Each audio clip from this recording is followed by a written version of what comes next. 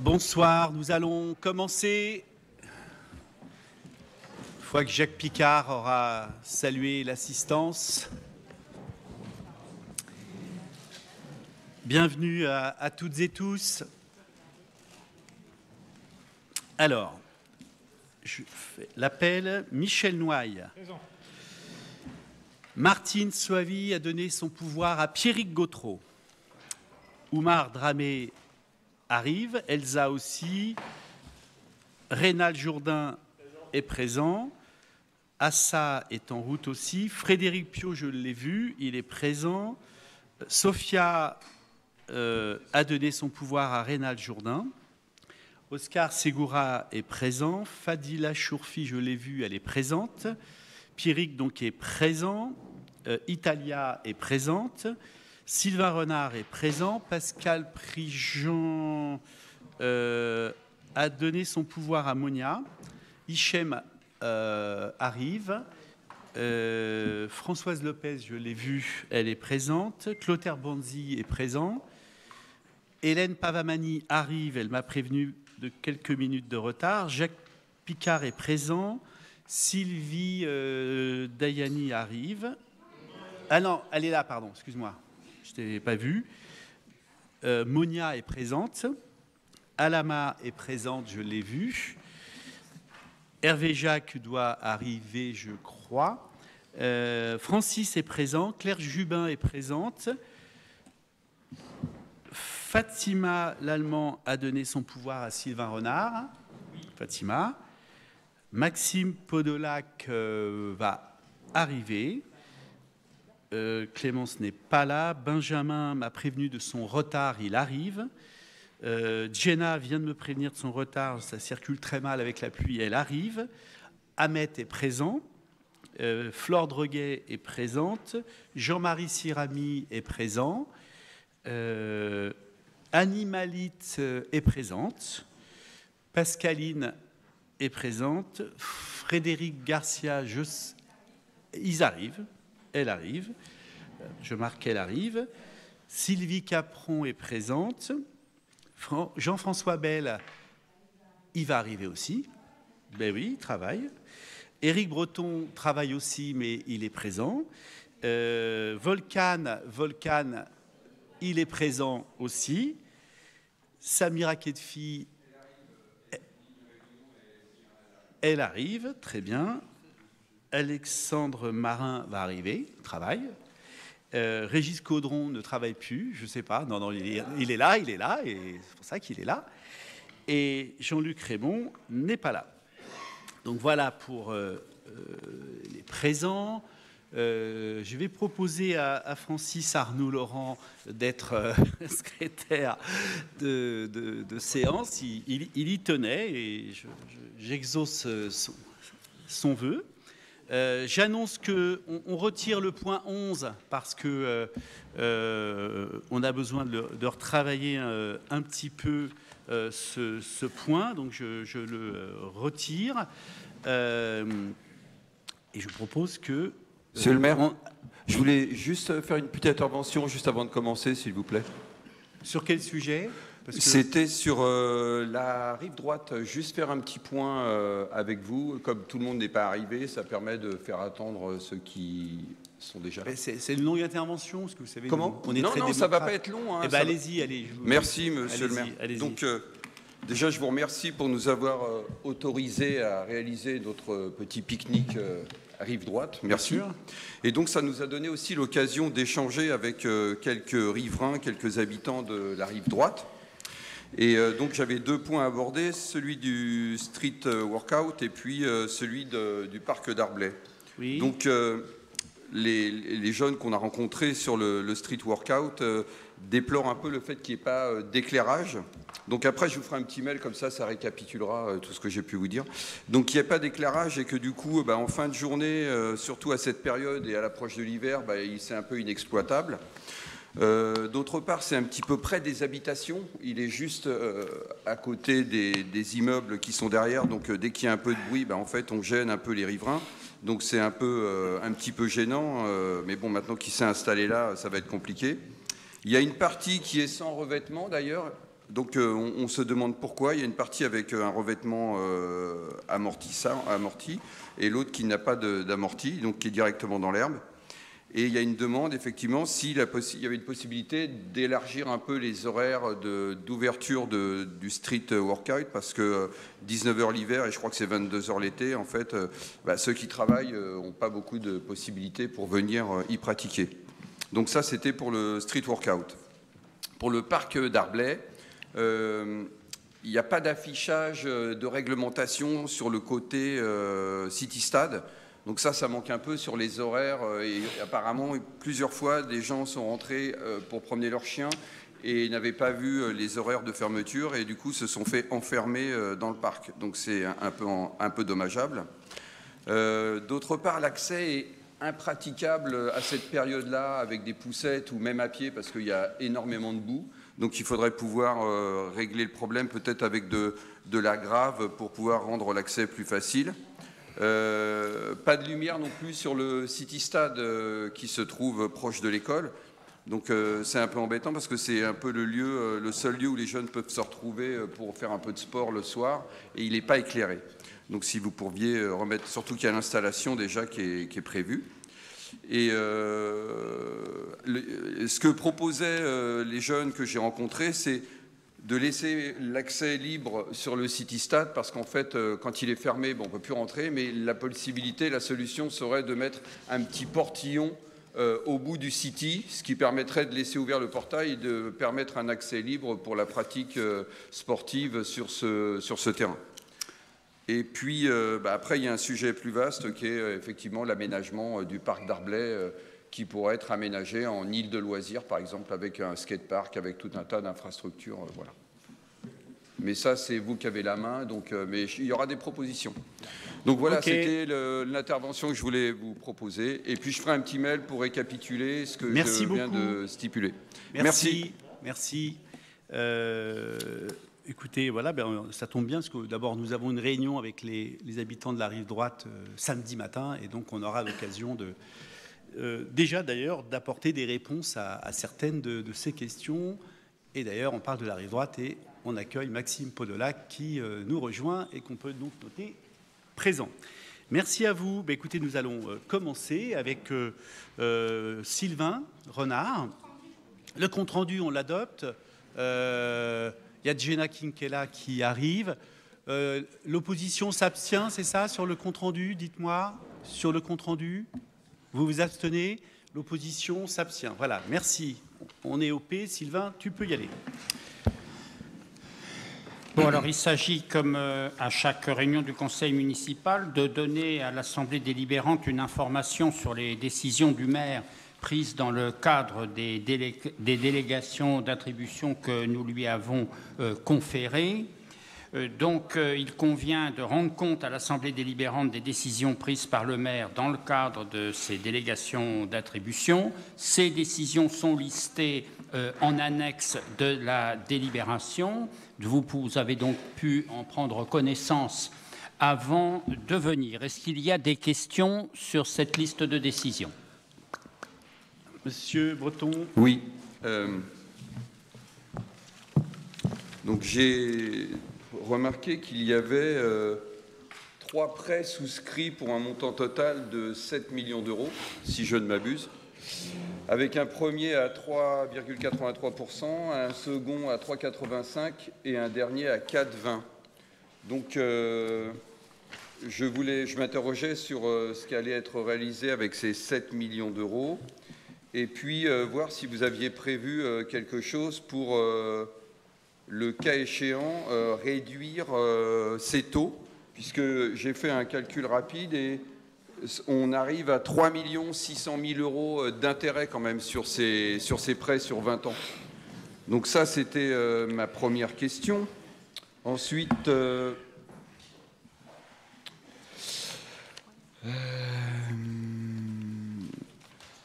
j'ai vu qu'il y avait également une commande de transport de 450 000 euros, donc euh, un marché de 450 000 euros pour les transports. Et euh, je voulais savoir à qui, euh, à qui ça s'adressait. Je vois que c'est le CCAS, mais est-ce qu'il y a d'autres destinataires? Ensuite, il y a un point sur les ors. Je voulais savoir si vous aviez des précisions. On en était pour les ors. Et puis voilà. Sylvain Oui, je vais me permettre de, répondre, en tout cas en partie. Euh, Monsieur Breton. J'ai même lu sur Internet, ça m'arrive de, lire sans écrire beaucoup. J'ai même lu qu'à propos des, trois prêts sur lequel vous posez une question, euh, qu'ils avaient été euh, pris, je cite, en catimini. Alors je voudrais rappeler que si on a souscrit ces trois prêts, c'est que, bien entendu, c'était prévu au budget primitif. Et je veux remontrer, j'ai imprimé cet après-midi, je veux remontrer la diapositive que j'ai projetée sur le grand écran au moment où nous avons euh, discuté et approuvé le budget primitif, et vous pouvez constater qu'il y a bien la somme de 7 millions. Il n'y a donc pas lieu de s'étonner, mais il y aurait lieu de s'étonner si on ne l'avait pas fait, parce que ça voudrait dire qu'on n'applique pas le budget primitif, et ce serait à bon droit que nos amis de l'opposition euh, nous, pourrait nous dire, bah alors euh, vous faites plus, mais alors euh, vous dépassez ce qui avait été voté, ou vous faites moins, et vous n'appliquez pas ce qui avait été décidé. Donc, je veux redire qu'il est tout à fait normal que ça ait été fait. Alors ensuite, vous évoquez, et je le comprends bien, le problème des taux. Alors je veux dire en quelques phrases comment nous faisons. D'abord, nous savons ce que nous avons à faire. Nous avons à emprunter 7 millions. La direction des finances, qui a l'habitude de faire ce travail et qui le fait bien, s'adresse aux principaux prêteurs possibles, donc aux différentes banques, sans oublier d'ailleurs euh, nos, partenaires euh, de, die Landesbank qui euh, travaillait déjà avec M. Bechter et qui travaille avec nous, comme c'est bien normal. Et puis on attend les réponses. Alors les réponses arrivent, on peut vous prêter 2 millions à tel taux, on peut vous prêter 3 millions à tel taux. Puis des fois, euh, selon la longueur du prêt, le taux peut bouger. Enfin, on nous fait des propositions. Il y a ensuite une négociation, je suis tenu au courant de ça, bien entendu, Monsieur le maire également. Et puis peu à peu se dégage la solution qui est la plus euh, la moins coûteuse euh, pour la commune, et nous l'adoptons. Alors pour être clair, parce que je suis des fois étonné de ce qu'on dit sur ces prêts, ce n'est pas nous qui décidons du taux. Nous choisissons, comme d'ailleurs vous le faites quand vous, prenez un, un, prêt immobilier auprès de votre banque, on vous fait des conditions, vous regardez la banque d'à côté, vous discutez un peu, et puis le moment venu, vous discutez. Donc voilà comment c'est fait, des taux de 3, 3,80, 3,88 à 4,2, c'est ce qui se fait à l'heure actuelle, c'est des taux de marché, ça n'a rien d'exceptionnel. voilà. Alors, je crois que j'ai répondu, enfin, en tout cas pour l'essentiel, hein, euh, sur ce problème euh, euh, des taux. Je veux dire, puisque la question a été posée sur les ors, qui, ah bah, alors, le, monsieur le maire va le faire, donc je m'en tiens là. Non, il y, avait aussi le fléchage des, à quel action, ça va être dédié ces 7 millions d'euros Mais je vous renvoie à la lecture du budget primitif. Parce que euh, pas, ce ne sont pas des, crédits affectés. Ça rentre dans l'ensemble des crédits qu'il n'y a pas de crédit affecté dans ce cas-là. Ce, c'est de l'argent qui est utilisé pour l'ensemble des dépenses selon le, schéma, selon les, comment, la, liste de dépenses et de recettes que nous avons indiquées dans le, euh, dans le budget primitif. Hein, c'est tout à fait naturel. Par exemple, euh, monsieur euh, Breton, vous avez remarqué qu'il y a des travaux partout dans la ville. C'est plutôt une, une, bonne nouvelle. La ville se transforme dans le centre-ville, dans les quartiers. d'équipements ou très importants d'équipements un peu plus euh, modestes. Et euh, ça s'appelle les investissements. Et nous sommes en train de réaliser tous les investissements que nous avons votés dans le budget euh, de la ville, ce qui est plutôt une bonne nouvelle. Et donc, ces prêts nous permettent de réaliser ces investissements et nous permettent aussi, puisque il y a du public. Merci au public d'être présent. Je salue aussi les nombreux Corbeillers-Saunoises et Corbeillers-Saunois qui nous regardent. Cette question sur nos prêts euh, est l'occasion pour euh, moi de dire que nous empruntons à la hauteur de 6 millions, on va dire, et que c'est juste la somme qui nous permet de participer au désendettement de la ville. Depuis que nous sommes aux responsabilités, la ville se désendette. J'ai été reçu, comme tous les ans la semaine dernière, par euh, l'ensemble du corps préfectoral et de la direction des finances publiques du département. Les grosses villes ont un point euh, important une fois par an. Euh, ces rencontres ont un caractère confidentiel, nous a dit la préfète. Je m'en tiendrai à reprendre deux idées euh, portées, deux appréciations portées par la préfecture de l'Essonne et la direction des finances publiques du département sur la gestion municipale de Corbeil-Essonne. Deux phrases, texto. Les ratios cette euh, euh, année sont meilleurs que ceux de l'année dernière et les choses ont tendance à s'améliorer. Vous savez que c'est un secret de Polichinelle que nous avons trouver une ville avec des finances très dégradées, une dette, une dette abyssale, c'est pas nous qui le disons, c'est l'État. Corbeil-Essonne, vous le savez, est une des villes les plus endettées.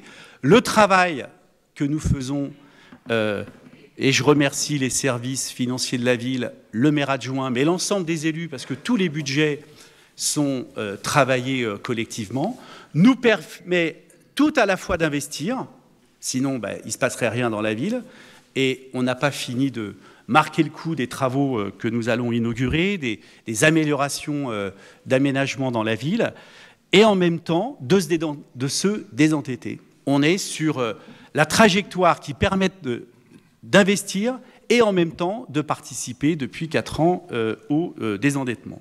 Donc voilà pour répondre sur la question que vous avez posée des prêts. Sur euh, la question des ors, euh, c'est une bonne question, puisque euh, lorsque vous avez vendu le centre de vacances des ors, il y a une vingtaine d'années, nous avons fait partie, pour les élus les plus anciens, nous avons été vent debout. nous avions un seul centre vraiment de vacances à la montagne qui ont permis à des générations de corbeillers saunois et, et ceux qui ont 45 euh, ans, 50 ans, euh, plus de 50 ans s'en souviennent. Ils ont découvert la montagne, découvert le ski, découvert la montagne l'été, et vous avez considéré que c'était euh, un luxe ou pour les enfants de Corbeil-Essonne, vous l'avez vendu. Déjà dans l'opposition, nous avions fait des, des, recours, et des recours se poursuivaient, et je vous annonce que le 5 mars 2024, la Cour d'appel de Grenoble a re-rendu Corbeil-Essonne, la ville de Corbeil-Essonne, propriétaire du centre de vacances des Ors. À l'heure où je vous parle, le centre de vacances des Ors est la propriété des Corbeil-Essonnois. Ce qui est, à cet instant, une excellente nouvelle. Mais la société qui était propriétaire de ce centre a fait appel. Et donc, en cassation. En toute sagesse, nous allons attendre l'appel, la cassation. Et en fonction, on a bon espoir, pour tout vous dire, parce que la décision de la Cour d'appel, j'aurais tendance à dire, est sans appel, sur le fond, puisque les conditions de la vente que vous avez faites n'ont pas été respectées par les acquéreurs, la ville a retrouvé la pleine possession. Et donc, euh, pour l'instant, on se garde de sauter au plafond de joie, euh, parce qu'il s'agira pour nous de réfléchir, d'avoir un débat entre élus, avec toutes celles et tous ceux qui sont intéressés par retrouver un centre de vacances à la montagne, quel euh, mode de gestion, quel projet politique, Dans ce cadre, quand il y a eu cette décision, une délégation de quelques élus et de l'administration et des services s'est rendue aux ORs il y a quelques mois euh, pour vérifier euh, l'état du centre, vérifier l'activité des occupants, parce qu'il y a un propriétaire et des occupants. Euh, et pour l'instant, nous attendons la cassation. Donc, vous avez bien fait de poser la question, parce que c'est potentiellement une excellente nouvelle, je ne sais pas pour vous, puisque vous, vous l'aviez vendu, mais une excellente nouvelle pour nous, qui avons toujours contesté la vente euh, de ce centre. Voilà ce que je pouvais dire sur euh, les ors. J'ai répondu à vos questions. Et donc, c'était les questions sur les décisions que nous avons prises. Vous voulez en rajouter une petite, Monsieur Oui. Euh, déjà, je voudrais corriger une ineptie. Euh, moi, il y a 20 ans, je n'étais pas là, Monsieur le maire. Et j'ai profité des heures à plusieurs reprises en tant qu'enfant et enseignant. Donc euh, moi, je n'ai jamais milité pour qu'il soit vendu ce centre. Voilà, donc je voulais rétablir une ineptie de votre part. Deuxième chose, comprenez que ces 7 millions interroge les corbeillers sonnois parce que euh, quand on se balade dans la ville, qu'on circule, hormis là, effectivement, vous avez mis des panneaux un peu partout devant les écoles avec les travaux qui avaient été réalisés, mais quand on regarde vos promesses de campagne et euh, la hausse d'impôts, on pouvait s'attendre à des choses un peu plus concrètes de réaliser et notamment euh, amplifier avec ces 7 millions. Je parle de la cantine municipale, je parle des classes transplantées, euh, Elio, le collège. Alors là, on vient aussi d'apprendre malheureusement que le conseil départemental rognait euh, et supprimait ses subventions. Donc pour Corbeil-Essonne, c'est 3 800 000 euros en moins. Donc quid de la place du Comtémont, de la Halle et du CTM donc, euh, il faudra m'expliquer comment on désendette une ville en empruntant 7 millions d'euros qui vont générer 3 600 000 euros d'intérêt. Et je rappelle que nous, la ville était euh, endettée. Pourquoi? Parce qu'il y a eu énormément d'investissements, énormément de choses réalisées. Donc, euh, vous ne pouvez pas comparer votre maigre bilan au bout de 4 ans de ce qu'a fait M. Bechter et Serge Dassault précédemment avant vous. Donc, ce n'est pas possible de rentrer en ligne de comparaison. Bon, écoutez, Monsieur Bell, allez-y.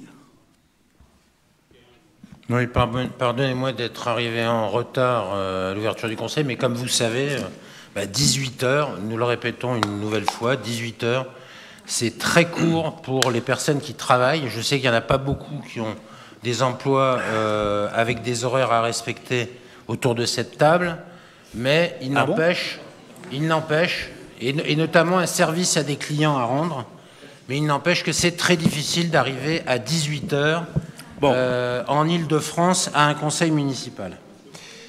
Euh, cela dit, donc je, évidemment, je m'inscris dans ce qu'a évoqué euh, notre ami Eric au sujet des emprunts et des finances de la ville. Je voudrais rappeler tout de même, et nous en avons parlé lors du dernier vote de budget, que en, en fait de désendetter la ville, ce que vous prétendez, vous ne faites que de la cavalerie en rallongeant les durées d'emprunt et les durées de remboursement, c'est-à-dire qu'en fait, vous endettez plus longtemps les corbeillers saunois pour pouvoir afficher euh, des, montants de comment dire d'encours de, de dette ou de plutôt d'encours de remboursement annuel inférieurs à ce qu'ils étaient auparavant. C'est votre façon de voir les choses. Pour nous, payer ses dettes, c'est s'enrichir, c'est un proverbe terrien.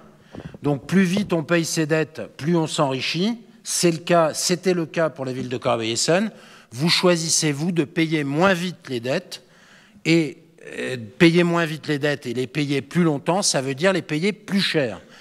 Ça, c'est une règle qui était vraie avant que les taux d'intérêt augmentent, depuis 2-3 ans, mais c'est d'autant plus vrai depuis que les taux d'intérêt sont passés de 0 à 4% quasiment. La deuxième remarque que je voudrais faire, c'est qu'en empruntant ces 7 millions d'euros, monsieur le maire, pas 6, 7 millions d'euros, pour, ces décisions de l'été, eh on s'interroge euh, au regard notamment, puisqu'il faut faire un rapprochement immédiat avec, ce que nous a annoncé le nouveau ministre des Transports, en, l'espèce, qui a, semble-t-il, été récompensé de sa bonne gestion, de sa bonne gestion départementale, qui, en l'espèce, vous supprime plus de 3 millions de subventions. Moi, ce qui m'interpelle, c'est que euh, des subventions qui sont euh, validées, qui sont notifiées euh, par un conseil départemental, normalement, ça ne peut pas être supprimé.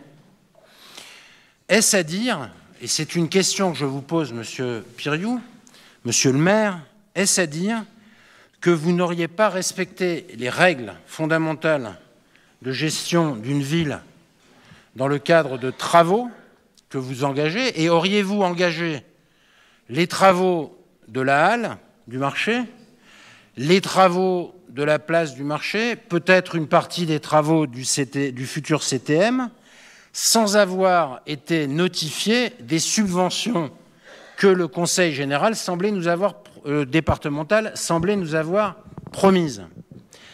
Monsieur le maire, est-ce que vous avez illégalement engagé des travaux non financés en vous disant que il faut absolument démarrer pour finir et pour pouvoir présenter un maigre bilan de travaux avant les élections municipales de 2026 et que vous n'auriez pas attendu les notifications, les arrêtés de notification des différents euh, institutionnels qui nous financent.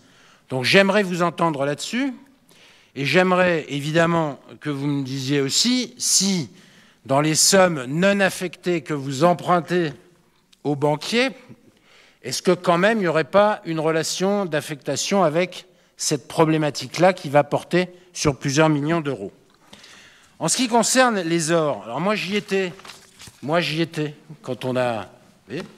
J'assume, et je suis en tout cas solidaire de la décision qui a été prise à l'époque, et je crois me souvenir qu'il était question à l'époque, mais bon, c'est quand même très très ancien, d'une vente à terme, c'est-à-dire d'une vente qui se fait par tempérament avec des paiements échelonnés à long terme, et que bah, c'est la règle.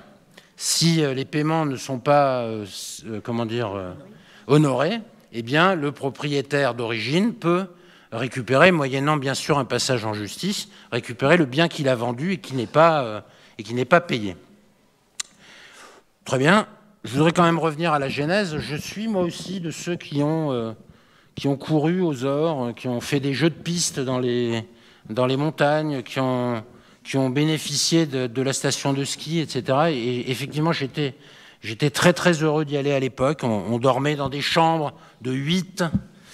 Euh, on mangeait à la cantine euh, des plats qu'on n'aurait plus le droit de manger aujourd'hui.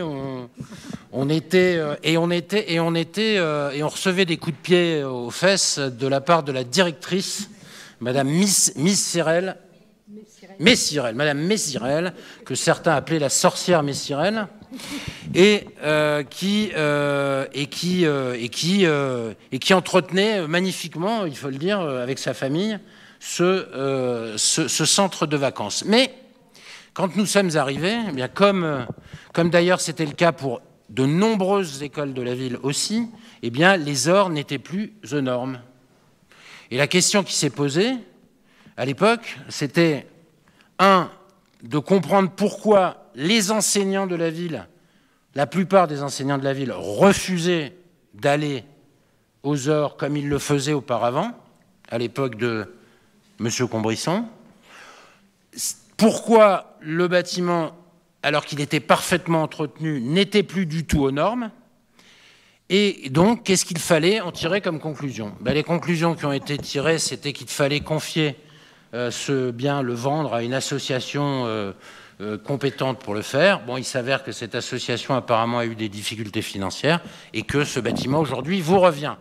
En clair, nous avons épargné à Corbeil-Essonne bien des difficultés financières pendant 20 ans. Vous allez récupérer un bâtiment qui risque me semble-t-il, de vous poser un certain nombre de questions financières.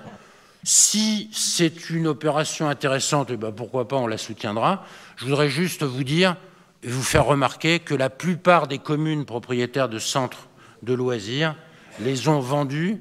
Toutes les toutes les, toutes, les, toutes les communes de la banlieue parisienne avaient des centres de loisirs de ce type, qu'ils aient fait partie de la ceinture rouge ou de la ceinture bleue de Paris, et ils se sont quasiment tous euh, comment dire, débarrassés de ce type de centre que l'on voit d'ailleurs fermé un peu partout euh, quand on se promène en France. Voilà, je voulais attirer l'attention sur vous sur toutes ces questions. Il y aura d'autres questions que je vous poserai sur cette euh, sur ces euh, décisions dès que vous aurez bien voulu répondre à mes questions euh, sur le financement notamment des futures infrastructures de la ville. Merci. Ben, je vous propose de finir les questions et Sylvain Renard et moi allons répondre puisque nous décidons du bon déroulement de ce conseil municipal. Finissez vos questions sur les décisions, s'il vous plaît. Très bien. Alors je voudrais savoir euh, dans le cadre de la décision 2024-91, de quelle partie du bâtiment de l'école euh, Audifred Bastide vous envisagez de vous débarrasser? Deuxième, troisième question. Euh, nous avons. Troisième question, ou plutôt une remarque. Décision numéro 100 de l'année 2024, euh, défense des intérêts de la commune devant le tribunal administratif de Versailles dans le cadre d'un recours contentieux formé par une ancienne vacataire à l'encontre des décisions implicites de rejet de Monsieur le maire à sa demande préalable du 31 mai 2022 portant rectification de ses engagements en contrat à durée indéterminée par les services municipaux en charge du dossier juridique et contentieux. Remarque, nous avons là une personne qui euh, a travaillé, qui a dû avoir, enfin qui a peut-être eu, comme c'est le cas quelquefois, euh, plusieurs, plusieurs peut-être même une dizaine de reconductions de contrats de comment dire de, contrats CDD. Elle a, légitimement sans doute demandé à ce que ce contrat soit transformé en CDI. Nous ne comprenons pas que vous ne l'ayez pas accepté après que vous ayez pourtant agité si souvent un chiffon en nous disant que vous étiez contre les CDD et au profit des CDI. Alors nous aimerions avoir une explication sur ce sujet. Euh, décision 2024-51, dans le cadre des contrats et marchés publics, vous lancez une convention d'honoraires de plus pour, euh, semble-t-il, lutter, je prends le mot lutter puisque c'est un mot qui vous convient très bien quand vous avez le point levé, contre euh, des recours gracieux qui auraient été euh, menés, trois recours gracieux à l'encontre des délibérations 40, euh, pardon, 4 du 3 avril 2024 relatives aux comptes administratifs et au budget. J'aimerais savoir de quoi il s'agit. Je pense savoir, j'aimerais avoir plus de détails pour être certain de cerner la totalité du problème. 2024-54, euh, nous notons le lancement du marché de consommation d'énergie et notamment de carburant. Et nous notons que vous envisagez de euh, lancer un, un marché qui couvre, qui porte jusqu'à 305 000 euros hors taxe d'achat de carburant pour les véhicules de la flotte municipale. Je rappelle que vous nous avez reproché vertement d'avoir dépensé en 2019 la somme de 335 000 euros hors taxe, 335 000 euros hors taxe, à une époque où les véhicules électriques n'avaient pas pris la place qu'ils ont pris aujourd'hui, à une époque où la vertu que vous prenez n'avait pas pris la place qu'elle a pris aujourd'hui dans la gestion de la flotte municipale. Alors nous ne comprenons pas comment vous pouvez lancer un marché d'un tel montant après tout ce que vous avez dit, pique-pendre sur notre gestion précédente.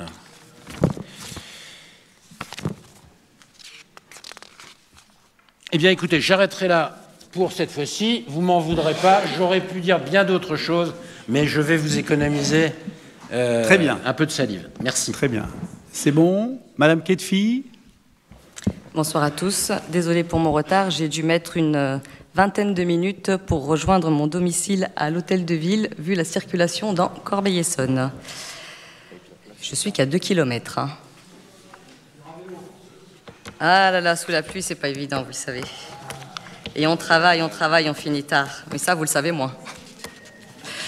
Alors, je ne peux qu'être d'accord avec euh, les interventions qui m'ont précédé et je voulais quand même refaire un point sur cette partie financière euh, Corbeil-Essonne, de Corbeil-Essonne, qui inquiète particulièrement les habitants, et je les comprends. D'ailleurs, je les salue ce soir, et je salue également les, personnes qui sont là dans le public aujourd'hui pour écouter ce qui se passe et la manière dont est gérée cette, cette ville. Alors, vous empruntez en effet 7 millions d'euros cet été, un peu en catimini, et pas 6 millions d'euros. Et vous, finalement, je me suis dit au bout d'un moment, mais combien euh, d'argent a été emprunté sur toute cette mandature au bout de 5 ans? Eh bien, au bout de cinq ans, nous en sommes à pas moins de 28 millions d'euros d'empruntés par votre majorité. 28 millions sur un budget de 100 millions.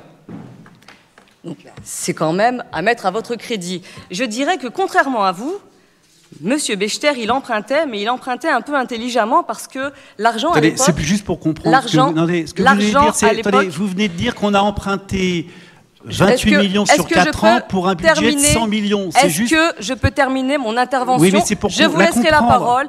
Vous aurez la possibilité de, me, de, me, poser des questions. Et vous, vous aurez la possibilité de, poser des questions. Euh, mais soyez sérieux, monsieur le maire. On est dans une instance sérieuse. Ne coupez pas la parole dès ma première prise de parole, s'il vous plaît. Merci. Eh bien, vous comprendrez. Regardez, posez la question à votre DGS, à votre directeur financier, ils vous expliqueront comment ça marche. Alors, 28 millions d'euros. Vous avez emprunté 28 millions d'euros depuis le début de votre mandature, ça c'est la vérité. À des taux qui avoisinent, à des taux variables parfois, donc à des taux qui vont venir gréver durablement les finances de la commune, et à des taux qui avoisinent les 4%. Monsieur Bechter, contrairement à vous, empruntait à moins d'un pour cent à l'époque. Donc il était important d'emprunter justement pour pouvoir investir dans la ville. Aujourd'hui, vous empruntez et en fait, on se pose même la question, pourquoi faire? Parce que contrairement à ce que vous annoncez, je ne sais pas où vous voyez la multitude de travaux dont vous parlez. Parce qu'aujourd'hui, on a la place du Comtémont qui est en train d'être refaite, qui était prévue par la précédente majorité. Cette place, elle est refaite pour un montant de 5 millions d'euros, un peu plus de 5 millions d'euros, et elle est faite et notamment prise en charge par Grand Paris Sud, l'agglomération, et absolument par la municipalité. Aujourd'hui, la seule chose qui était de votre ressort était la halle du Comtémont, et on s'aperçoit que vous avez mis la charrue avant les bœufs. Donc aujourd'hui, ce projet qui n'est absolument pas financé, eh bien, vous avez lancé des travaux pharaoniques sans, vraiment avoir la visibilité sur euh, la manière dont ils vont être financés. Mais parce que dans votre esprit, l'argent tombe du ciel. Et quoi qu'il arrive, il y a des habitants et les impôts, de toute façon, vous saurez les trouver et les augmenter le moment venu. Les habitants doivent le savoir comme vous l'avez déjà fait précédemment, donc vous savez le faire. Et probablement que vous devrez le refaire et que vous expliquerez que ce n'est pas votre faute parce que le département n'a pas pu vous donner ce que vous attendiez. Parlons de la dette financière. La dette financière, elle a augmenté depuis que vous êtes là parce que les taux avec lesquels vous empruntez font que la dette, d'une manière globale, diminue. C'était inscrit dans les comptes et les débats d'orientation budgétaire qui ont toujours été présentés. Toujours. Chaque corbeiller saunois peut le vérifier dans le DOB, tout le monde. Sauf que depuis que vous êtes là, on se rend compte que les charges financières augmentent exponentiellement. Les charges financières, c'est ce que l'on paye pour l'argent que l'on a emprunté. Aujourd'hui, on paye plus de 250 000 euros de plus en charges financières aux banques. Donc en fait, aujourd'hui, l'argent coûte cher et vous n'avez aucun scrupule pour continuer à emprunter de la même manière, même si l'argent coûte cher. Et ça, ça va peser sur l'argent, sur le dos des corbeillers saunois, mais vous ne le leur dites pas. Tout comme vous ne dites pas, lorsque vous avez rééchelonné les prêts, que ça va coûter aux habitants un million et demi, plus d'un million et demi. Vous ne leur dites pas ça aussi. Et ça, à un moment donné, il y a bien quelqu'un qui le paye. Ce sont les habitants. Donc, cessez de maquiller la vérité. Aujourd'hui, quand vous expliquez que vous n'avez euh, pas fini de marquer le coup, vous n'avez juste pas démarré on attend encore votre premier coupé de ruban, et là, euh, il n'est pas encore arrivé. La seule chose que vous avez inaugurée, c'est la résidence pour les jeunes qui n'est pas de votre fait, qui était également un projet prévu par la précédente majorité. C'est pas grave, on appelle ça le coucou, il se niche dans les travaux des autres. Mais vous savez bien le faire. Pour parler de la suite, je constate que dans les délibérations du maire, vous avez une dizaine de procédures contentieuses. Alors je vais répondre à votre place un peu en avance à, à, monsieur, Bayle, puisque la délibération euh, qu'il cite concernant des recours pour lesquels vous, avez sollicité des avocats, c'est tout simplement la 2024-51, c'est tout simplement les recours que j'ai faits contre des délibérations que vous avez faites, des délibérations sur le CTM et justement le budget de cette ville, parce que ce budget est insincère.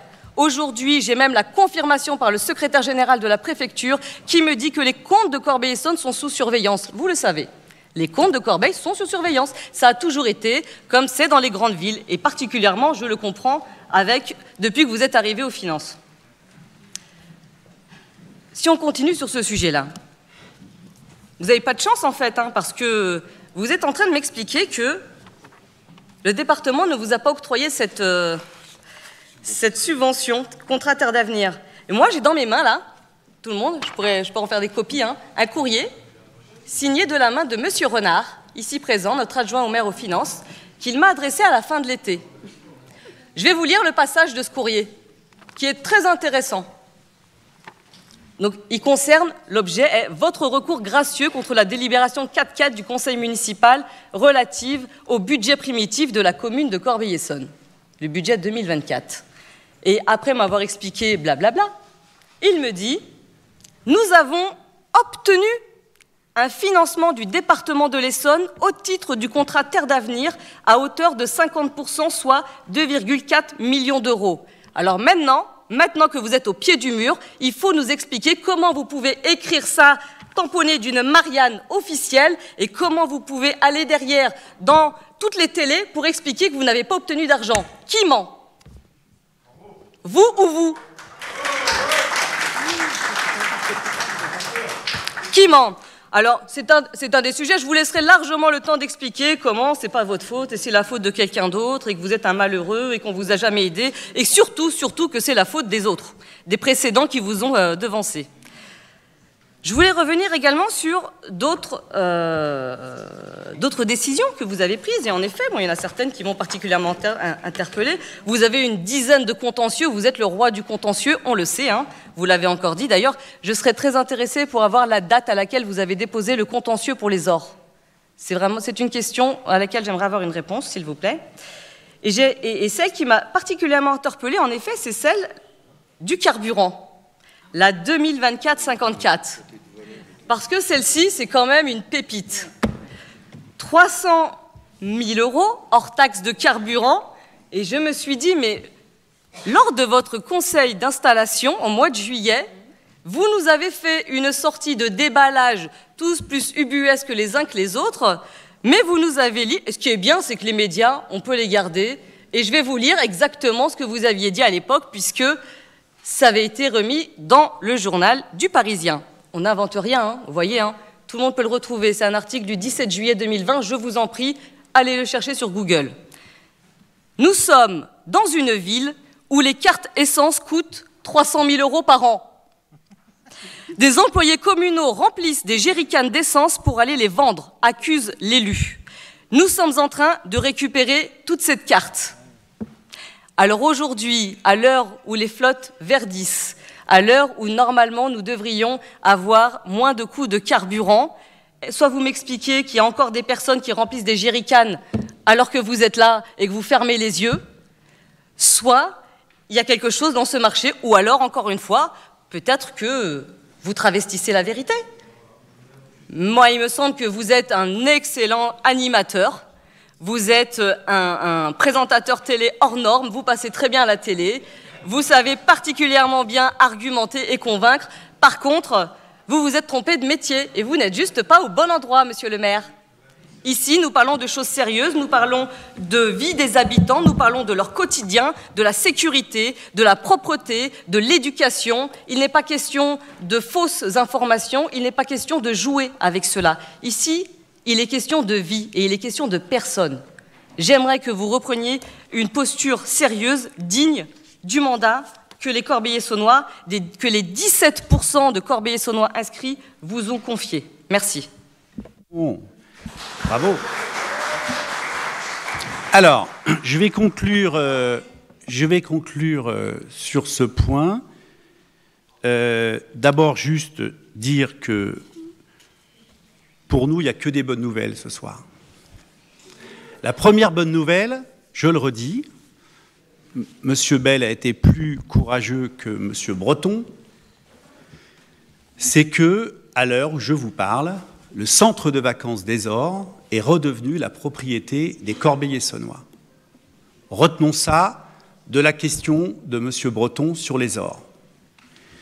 J'étais déjà élu quand vous l'avez vendu, avec euh, un argument porté par l'une de vos collègues à l'époque qui disait euh, euh, c'était une punition, Michel s'en rappelle, c'est une punition pour les enfants de Corbeil d'aller aux Ors parce qu'ils vont toujours au même endroit. Et pour l'instant, nous, tenons, gardons un petit peu au chaud cette bonne nouvelle parce que j'ai expliqué que j'attends la cassation. Et je peux vous dire que si la cassation, quand dans les mois, peut-être un an, et j'ai bon espoir qu'elle décide définitivement que le centre de vacances des Ors que vous avez vendu revient au Corbeil-Saunois, nous ferons une fête.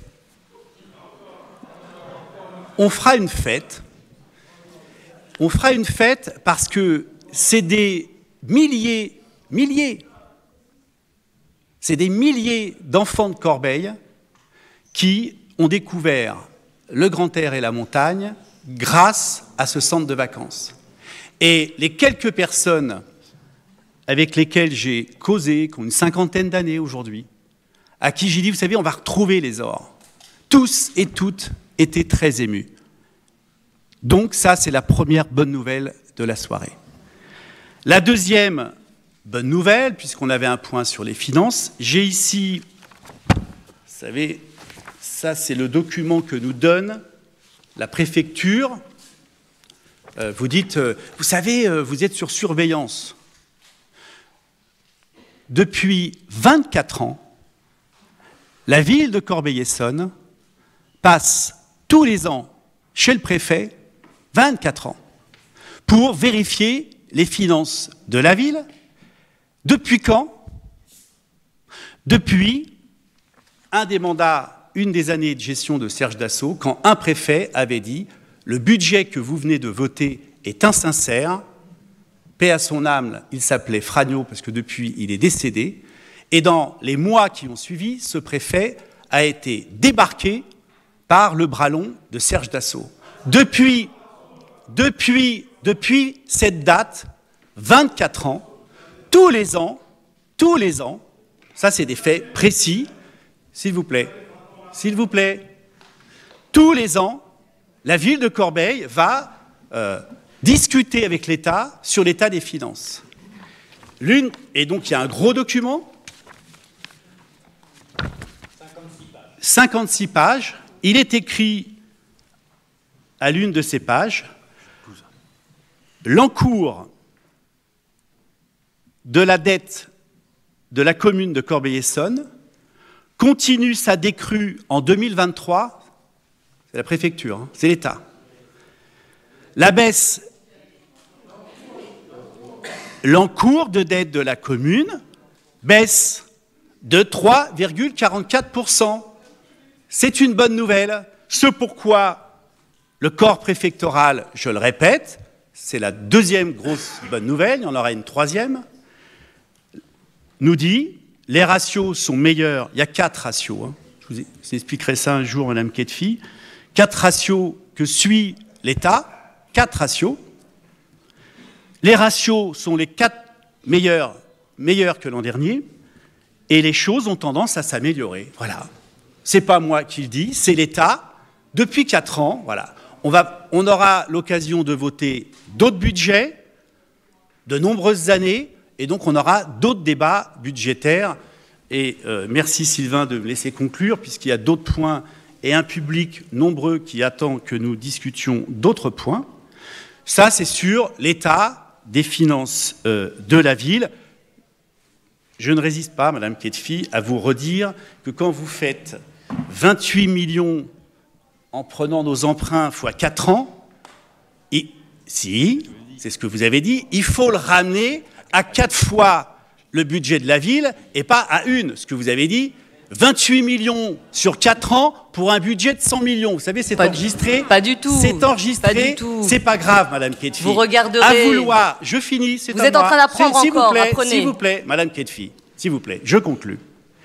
Parce que on a l'impression que vous aimeriez que tout aille mal à Corbeil-Essonnes, qu'on récupère pas, qu'on qu'on récupère pas, qu'on, s'il vous plaît, le public, le public doit être calme et à l'écoute, s'il vous plaît. Vous aimeriez qu'on récupère pas les ors, on va le récupérer, j'espère. Vous aimeriez que nos finances soient comblées, c'est pas le cas puisque l'État nous dit que depuis que nous sommes là, la ville va mieux. Vous aimeriez, vous aimeriez, Madame Ketfi, vous aimeriez, vous aimeriez que le département n'honore pas son engagement, et c'est un sujet important. Les télévisions ne viennent pas à Corbeil-Essonnes parce qu'elles ne savent pas quoi faire. Elles se sont saisies d'un sujet qui a été effectivement une nouvelle fracassante il y a maintenant dix jours à la commission permanente du département. Le président du département, pas encore ministre, a fait retirer une délibération de l'ordre du jour qui s'était acquis, ce pourquoi M. Renard était... Attendez, s'il vous plaît. C'était acquis, ce pourquoi M. Renard a eu raison de vous dire nous allons bénéficier, nous avons bénéficié, et on a tout un tas de courriers, de messages qui disent c'est bon, vous allez avoir pour près de 4 millions de dotation, qui est le contrat, c'est presque régalien, puisque c'est une délibération du département d'Essonne, pour que tout le monde comprenne, qui en 2022 a dit on va faire des contrats d'avenir pour une enveloppe de plus de 100 millions d'euros, et les communes, au prorata de leur projet et de leur nombre d'habitants, pourront, de bon droit, avoir un droit de tirage pour bénéficier de dotations du département. Ça s'appelle l'aide aux communes. Tout ça a été acquis, et lundi, pas que pour Corbeil-Essonne, pour Saint-Try, ce qui ne fait pas du maire de Saint-Try forcément un mauvais gestionnaire, pour Lys, pour Arpajon, pour Mondeville. Attendez, s'il vous plaît. Attendez. Ils, ils se sont vus pas supprimer, retirer la délibération. Qu'est-ce que le maire de Corbeil-Essonnes a fait avec ses collègues? Nous n'avons commencé, nous n'avons pas commencé les travaux. La dotation du département était ciblée sur la halle du Comtémont. Les travaux ont commencé sur la place. Vous me l'avez fait remarquer un dernier conseil municipal. Vous avez dit, alors, ils n'ont pas commencé sous la halle. Et non, ils n'ont pas commencé. On attendait la subvention. Mais évidemment, on est intéressé à l'avoir, cette subvention, parce que, s'il vous plaît, il faut que trois travaux importants se fassent concomitamment. La place du marché, la halle du marché et les berges de l'Essonne qui auraient dû être réparées depuis là des décennies, puisque quand nous devenons élus en responsabilité il y a quatre ans, il suffisait de marcher le long de la rivière Essonne, rue du Trou-Patrix, pour voir que les berges tombaient dans l'Essonne. Et donc nous avons engagé des travaux, des perspectives de travaux sur trois dossiers. Les berges, il est en train d'être installé des pales planches rue du Trou-Patrix pour rattraper les berges. Les travaux de la place vont bon train. Et il y avait la question de la halle. Et l'autre dossier qui n'a pas commencé, c'est notre décision d'en finir avec ce centre technique municipal indigne depuis des décennies dans lequel vous avez laissé travailler les agents depuis des années. Et nous avons décidé, c'est notre décision, de faire un nouveau centre technique municipal. Vous pensez bien que quand on apprend que le département, et ça c'est une question politique de fond, et là, pour le coup, sur cette partie-là, je n'accable pas le président du Rouvray. Le président du Rouvray, comme de nombreux présidents de département, essentiellement, pour plein de raisons, mais essentiellement, avec la chute des droits de mutation. C'est quoi les droits de mutation? C'est l'argent que touchent les collectivités, c'est le cas des communes. en fonction des acquisitions de l'immobilier. Il ne vous a pas échappé que l'immobilier, depuis la guerre en Ukraine, le coût des travaux, l'augmentation. La... Attendez, alors s'il il y, a bien une guerre en Ukraine, on est d'accord? Il y a bien une guerre en Ukraine qui a occasionné l'augmentation euh, des fluides, de l'électricité, du gasoil. C'est pas un détail. Ça nous a occasionné rien que l'augmentation des fluides, 4 millions 4 millions d'euros, rien que dans notre budget, rien que l'augmentation du coût de l'électricité et du gasoil. C'est ça la réalité de gérer. Et donc, les départements, le département de l'Essonne, les droits de mutation viennent d'arriver, ce que ça représente, vient de reperdre 50 millions d'euros, le département. Et donc le président du Rouvray, s'est retrouvé avec, en cours d'année, des dizaines de millions d'euros qu'il avait prévus en moins dans son budget. C'est donc un débat de politique nationale. Et là, nous, notre majorité, on a un avis. Il n'y a pas trop d'argent pour les mairies, il n'y a pas trop d'argent pour les départements. Là-dessus, nous sommes d'accord avec François Durouvray. Maintenant qu'il est ministre, on verra quel pouvoir a-t-il supplémentaire pour redonner de l'argent aux collectivités. Et c'est pareil pour les régions. En France, c'est une chance d'avoir des communes qui investissent, qui font vivre des centres de loisirs, euh, etc., etc. C'est une chance. C'est une chance d'avoir des départements en France pour faire l'action sociale, pour construire des collèges. Et d'année en année, les politiques libérales qui s'appliquent dans notre pays font diminuer les recettes des collectivités. Et en plus, quand il y a la crise financière que nous vivons, il y a moins d'argent. Et donc, euh, qu'est-ce qu'on a fait sérieusement depuis dix jours? Nous avons lutté, nous nous sommes battus, nous avons sollicité les médias, pas que moi, il se trouve que j'ai été l'une des voix les plus importantes dans le département, mais je l'ai fait avec tous les maires, qu'ils soient de gauche ou de droite, stupéfaits d'apprendre que dans les choix budgétaires que ferait le président de l'Essonne, ce serait de supprimer les contrats Terre d'avenir. Eh bien, j'ai une bonne nouvelle, c'est que c'est le contraire qu'il va décider.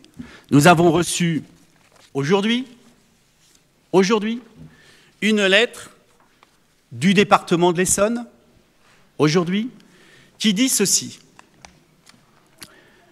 Je l'ai sollicité dès que j'ai appris la suspension des aides. Pour le compte du président du Rouvray, Michel Bournat, premier vice-président, m'écrit aujourd'hui Monsieur le maire, par lettre reçue le 20 septembre 2024, vous sollicitez une dérogation dans le cadre de votre projet de contrat Terre d'avenir afin d'engager l'aménagement des services techniques municipaux, boulevard Kennedy, et la réhabilitation de la halle du Comtémont, place du Comtémont, sans attendre la notification que nous allons avoir de subventionnement du conseil départemental. Au regard, écrit la présidence du département de l'Essonne. Au regard de quoi? C'est leur appréciation. Hein Au regard de l'urgence à réaliser ces travaux, pour des raisons de sécurité d'hygiène, de santé des agents des services techniques municipaux. Tu as eu raison, ami Francis Arnoux Laurent, de te battre sur ce dossier. Du caractère impérieux pour respecter les calendriers de travaux et les échéanciers prévisionnels. Et conformément à l'article 9 du règlement du contrat Terre d'avenir, cette autorisation vous permettant de commencer les travaux vous est accordée. On vient de recevoir ça aujourd'hui. Donc, j'espère que ça vous satisfait, parce que nous allons pouvoir ne pas perdre une seule semaine sur les travaux du centre technique municipal. Je vous confirme que nous inaugurerons ce centre technique municipal avant la fin du mandat. Et compte tenu de cette autorisation à commencer les travaux, avec une notification, puisqu'il faut attendre la prochaine commission permanente qui va octroyer notre subvention, eh bien, nous allons pouvoir commencer les travaux, chère Hélène, de la halle du Comtémont, et je vous confirme que nous inaugurerons concomitamment les berges refaites de l'Essonne, rue du Trou-Patrick, c'est rue des Remparts, la place du Comtémont, la halle du Comtémont, dans les délais à peu près prévus, c'est-à-dire fin de l'année 2025. Donc, voilà les grands enseignements du débat que nous avons ce soir. Que les Corbeillers saunois et les Corbeillers saunoises retiennent ceci. Les enfants de Corbeil vont pouvoir, j'espère, rebénéficier d'un centre de vacances à la montagne. Les finances de la ville s'améliorent et nous avons obtenu le contrat départemental avec l'Essonne. Je vous remercie.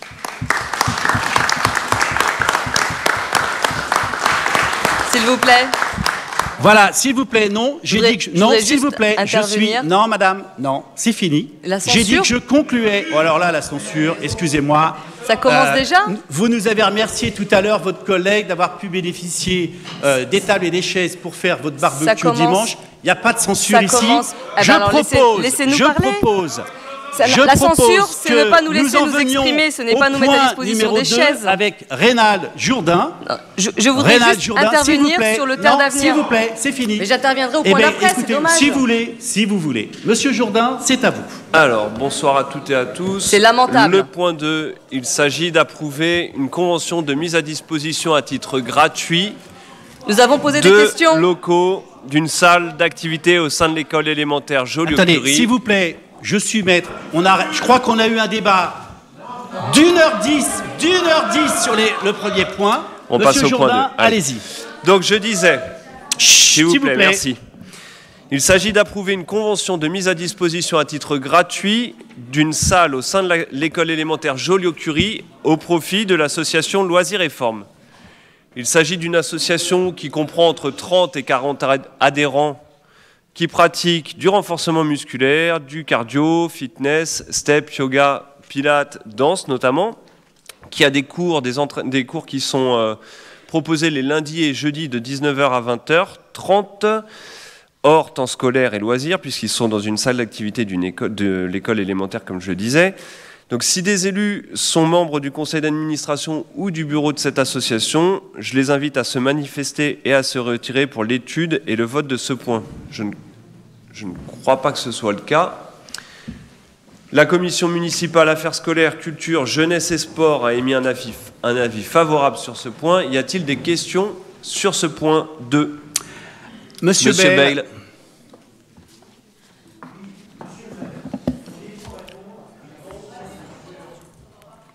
Merci. Pourriez-vous répondre à ma question sur la décision numéro 2024-91 que j'ai posée tout à l'heure? Sur la, ques- sur la euh, décision numéro 20 2024-100 sur la décision 2024-54 sur la décision 2024-51 Merci, monsieur le maire. Voilà, je, je- je vous répondrai, si vous voulez, pour la bonne marche. Oh, ouais. C'est des questions, sur le point euh, 2. de détail. J'y répondrai. Je vous répondrai par écrit. Vous aurez euh, des réponses si très circonscrites. Je propose. Monsieur je le maire, propose, écoutez-moi, monsieur le maire. propose- Non, non, attendez. s'il Non vous mais plaît. attendez, Il y avait des questions. Si vous Madame Delphi, c'est nous sur sommes point 2 sur la délibération numéro 2. on a, Nous sommes on a sur l'école, l'école élémentaire Joliot-Curie. Je suis désolé, il faut qu'on avance. Madame Ketfi, est-ce qu'il s'agit de questions sur le point 2, sur la convention Est-ce sur la que Monsieur de le la maire, je vous rappelle, je vous vous plaît, rappelle que nous souffrons. Oui. Je vous rappelle que nous souffrons déjà Non. de ne pas Ça avoir, alors de ne pas avoir Oui. De réponse dans les commissions aux questions que nous posons. Bon, écoutez. D'accord Et donc il est quand plaît. même invraisemblable qu'on ne puisse pas avoir de réponse aux questions précises qui sont pas bien On vous, compliquées on- on vous envoie. en conseil municipal On vous envoie devant, toutes les réponses. devant la population. Merci, Madame Ketfi. Cher Jean-François, pour savoir répondre aux questions, il faut connaître les dossiers. Oh. Oh. Décidément. Concernant, concernant, puisque nous sommes sur Joliot-Curie, ça tombe extrêmement bien parce que c'était l'objet de mon intervention que vous avez censurée sur le point précédent, Allez-y. pour laquelle vous n'avez pas, euh, vous ne nous laissez pas nous exprimer. Allez-y. Il faut comprendre que nous sommes à Corbeil-Essonne dans une forme de, de dictature assez particulière, Oui, puisque nous sûr, avons un maire. Est-ce que je peux m'exprimer Allez-y, Je ne vous ai pas coupé la parole. Dictature, vous disiez. Les- tout à fait, assez particulière, Oui. parce que vous faites croire à tout le monde que vous êtes un grand démocrate, mais on a absolument le droit de s'exprimer que lorsqu'on est d'accord avec vous. Bah, Dès écoutez, qu'on n'est euh, pas d'accord, Je crois que vous avez dès qu'on n'est pas d'accord, on est censuré, on ne nous laisse pas nous exprimer, et particulièrement, nous n'avons aucune réponse bien. à toutes les questions que nous posons. C'est assez dramatique, ou alors les questions sont, euh, sont euh, mitigées, ou elles sont en tout cas pas com- incomplètes. Euh, le- le- la démonstration que vous avez faite par ailleurs n'explique pas comment est-ce que j'ai pu avoir une validation qui dit pas nous allons recevoir, elle dit nous avons obtenu. Et là, vous nous expliquez que vous recevez, Mais- un- suite à un bon, courrier du vous 20 plaît, septembre. On vous expliquera ça. c'est- Oui, oui, oui, non, le mais vous n'avez pas besoin de m'expliquer. C'est le béaba. Vous n'avez bon, pas besoin de m'expliquer. vous avez une question, madame Oui, oui, j'ai une question, elle, elle elle arrive. Je vais expliquer d'abord au Corbeil-Essonnois comment un courrier du 21 Vous êtes, août. vous êtes vous avez- nous avons Ah, mais est-ce que je peux définitivement obtenu. Allez-y, s'il vous plaît. J'aimerais parler au plaît. Joliot-Curie, Joliot-Curie. Nous les représentons. Donc je voudrais dire au Corbeil-Essonnois que le 21 août, moi, j'ai reçu ce courrier évoquant le contrat Terre d'Avenir, disant que vous avez obtenu les éléments, en tout cas les financements, alors que, vous l'avez dit vous-même, vous avez adressé un courrier que le 20 septembre. Donc il faut nous expliquer Bon, comment allez. les choses... Tout le monde a compris, sauf vous.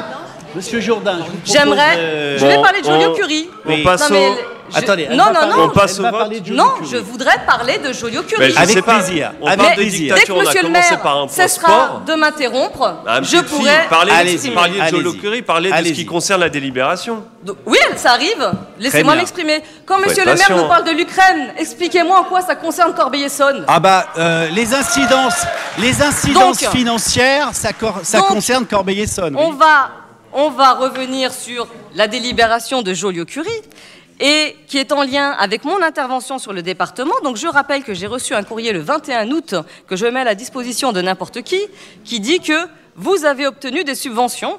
Vous avez obtenu, c'est pas nous allons percevoir. Hein. Et vous nous expliquez après que le 20 septembre 2024, vous leur avez écrit pour leur demander de pouvoir en bénéficier en avance de phase. Ça, c'est une affaire de calendrier, c'est simple, je vous expliquerai aussi. C'est facile. Moi, ce qui m'inquiète, c'est que dans votre courrier du 20 septembre, monsieur le maire, je m'aperçois que vous avez mis en avant les projets qui vous tiennent à cœur. Sur les quatre projets qui sont prévus dans ce contrat Terre d'avenir, quatre, il y a quatre opérations dans le contrat Terre d'avenir. Je vais vous l'expliquer, parce que vous aimez bien faire un peu de pédagogie, alors euh, on va le faire euh, euh, également pour vous. Le contrat Terre d'avenir, c'est un montant qui est versé en fonction du nombre d'habitants, en effet, qui est mis en place par le département, qui n'est pas une obligation du département par ailleurs, c'est une, euh, j'allais dire, une compétence accessoire qu'ils ont euh, voulu mettre pour favoriser le développement des territoires par le président du Rouvray. Et dans le cadre de, vous avez la possibilité de subventionner jusqu'à quatre opérations. Et dans les quatre opérations que vous aviez mis dans le contrat Terre d'avenir, il y a bien les services techniques, le centre des services techniques à refaire. Il y a bien la halle du Comtémont, mais vous le savez pertinemment et vous ne le dites pas au Corbeil-Essonnois. Il y a également deux écoles. Il y a le remplacement des huisseries et l'isolation thermique par l'extérieur de l'école Joliot-Curie, et il y a le remplacement des huisseries de l'école Galignani. Moi, habitante de Corbeil-Essonne, je constate et je déplore et je regrette que votre courrier n'a fait l'objet que d'une demande pour des projets qui vous tiennent à cœur et pas pour l'éducation et pour les enfants. Vous n'avez pas fait de demande, vous avez abandonné les écoles. Vous n'avez pas sollicité les subventions pour les écoles, vous avez subventionné les subventions, vous l'avez dit vous-même, vous avez lu ce courrier. Vous abandonnez les écoles de Corbeil-Essonne. Une mère de famille m'a expliqué que les enfants vont à l'école et il leur pleut sur la tête. Il leur pleut. Mais Madame Pavamani, vous pouvez hurler. C'est un fait. Ce courrier, ce courrier, ce n'est pas moi qui l'ai écrit, c'est Monsieur le maire de Corbeil-Essonne qui a sollicité une avance de financement pour des projets qui, vont, le, qui le concernent. Il a envie de couper des rubans, pas pour le bien des habitants. Aujourd'hui, dans les quatre opérations, les deux qui concernent les écoles, eh ben, elles sont tout simplement passées à la trappe. Et donc, moi, ma question est, quand allez-vous vous occuper de ces écoles? Très bien. Alors, oui. Mes collègues un peu taquins disent que pour les écoles, euh, il faudrait poser la question à l'ancien maire adjoint aux écoles. Ces deux, ces deux, ces deux écoles, attendez, ces deux Oui, écoles, l'ancien, ces l'ancien. deux, ces deux On est en écoles, 2024. Chut, S'il vous plaît, ces deux écoles nous tiennent à cœur puisque ces travaux vont être réalisés. On va le faire sur l'investissement propre de la ville sans l'apport de la subvention du département. C'est aussi simple que cela. Donc voilà. Et d'ailleurs, euh, cet été, il n'y a jamais eu autant de travaux dans les écoles. Euh, la preuve, c'est qu'on a fait la tournée des écoles avec Michel. Beaucoup de satisfaction. Est-ce qu'il y en a eu assez? Non. Les écoles de Corbeil sont dans un tel état qu'elles mériteraient beaucoup, beaucoup plus de, travaux. C'est les choix politiques que nous faisons. Nous faisons des travaux. Il y en a eu plein cet été. Mais le problème, euh, ça c'est de l'investissement. Attendez, les guinguettes c'est du fonctionnement, les travaux c'est de l'investissement. Hein D'accord? Donc c'est pas les mêmes budgets. Donc euh, le problème c'est qu'on a eu des choix à faire quand nous sommes arrivés sur l'état des bâtiments. Je vous rappelle euh, la. euh, tu dis? 800 000 euros pour les remettre en sécurité à Simone Veil. le premier dossier qu'a eu euh, Michel Noailles, maire adjoint euh, aux écoles, c'est quand on arrive en juillet 2020, on a une interdiction d'ouvrir En septembre, l'école Simone Veil. l'école Simone Veil. Parce que il n'y a pas de cours d'école, il y a des préfabriqués dans la cour d'école et il n'y a pas de sécurité. On arrive. Simone Veil, on reçoit un courrier de l'État, vous pouvez pas ouvrir. C'est pas nous ça, on arrive. 800 000 euros on a dépensé. Et on a trouvé une solution, on a enlevé les préfabriqués, on a mis des jeux pour enfants, etc. Ça c'est un exemple. Et c'est à peu près pareil dans beaucoup d'écoles. Je vous parle même pas de Steg qui mérite d'être complètement refaite. Et voilà. Et en même temps, on se dit ah oui, alors les écoles c'est important. Allez dire aux agents des services techniques c'est pas important. Le centre technique municipal. Même le président du Rouvray dit vu l'urgence à réaliser ces travaux, je vous donne l'argent. Commencez même. Perdez pas de temps. Alors voilà. Et puis, et puis, et puis, s'il vous plaît. Et puis, euh, on pensait que euh, euh, Chantemerle, la maison de quartier, ça allait. Elle s'écroule.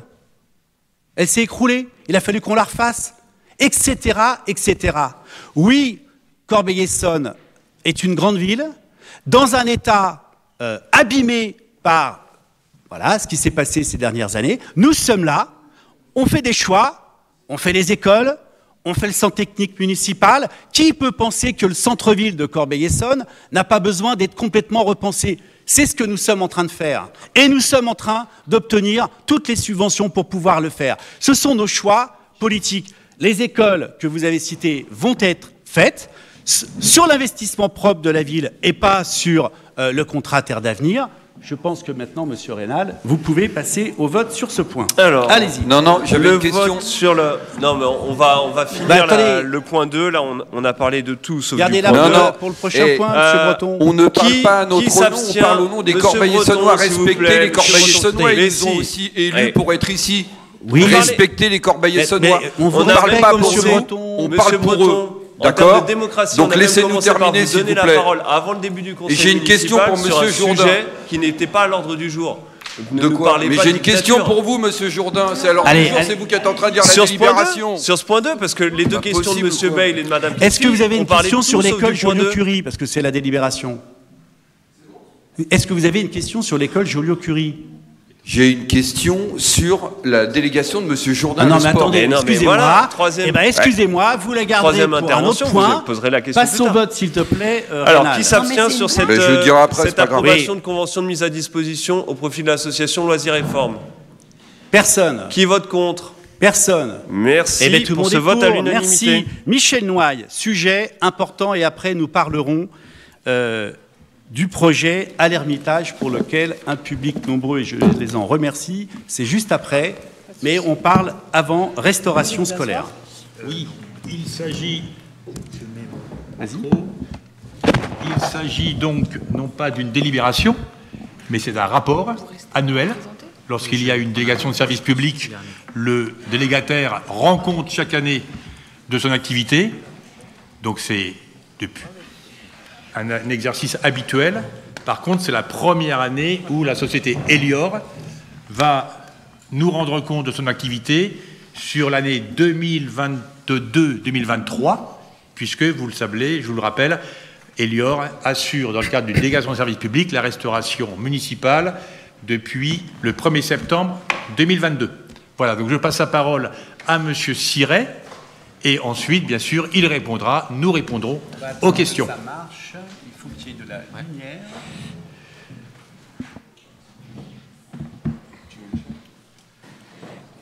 Sinon, je me mets derrière le PC. Bonjour à tous. Je suis Ludovic, je suis Ludovic Siret, donc du coup directeur d'exploitation de la société Elior, prestataire de services sur la restauration scolaire. Alors, Parlez bien dans le micro. ouais. Alors, on va présenter du coup sur un sommaire en trois parties les éléments quantitatifs et financiers, la qualité de notre service et les éléments techniques. Ok. Alors, euh, juste sur la fréquentation scolaire, on a fait 546 646 repas sur la période scolaire. On a euh, du coup des chiffres par rapport à l'ancien prestataire. On a fait une hausse d'activité de 0,6 points versus l'année dernière et de 4,5 sur la restauration élémentaire.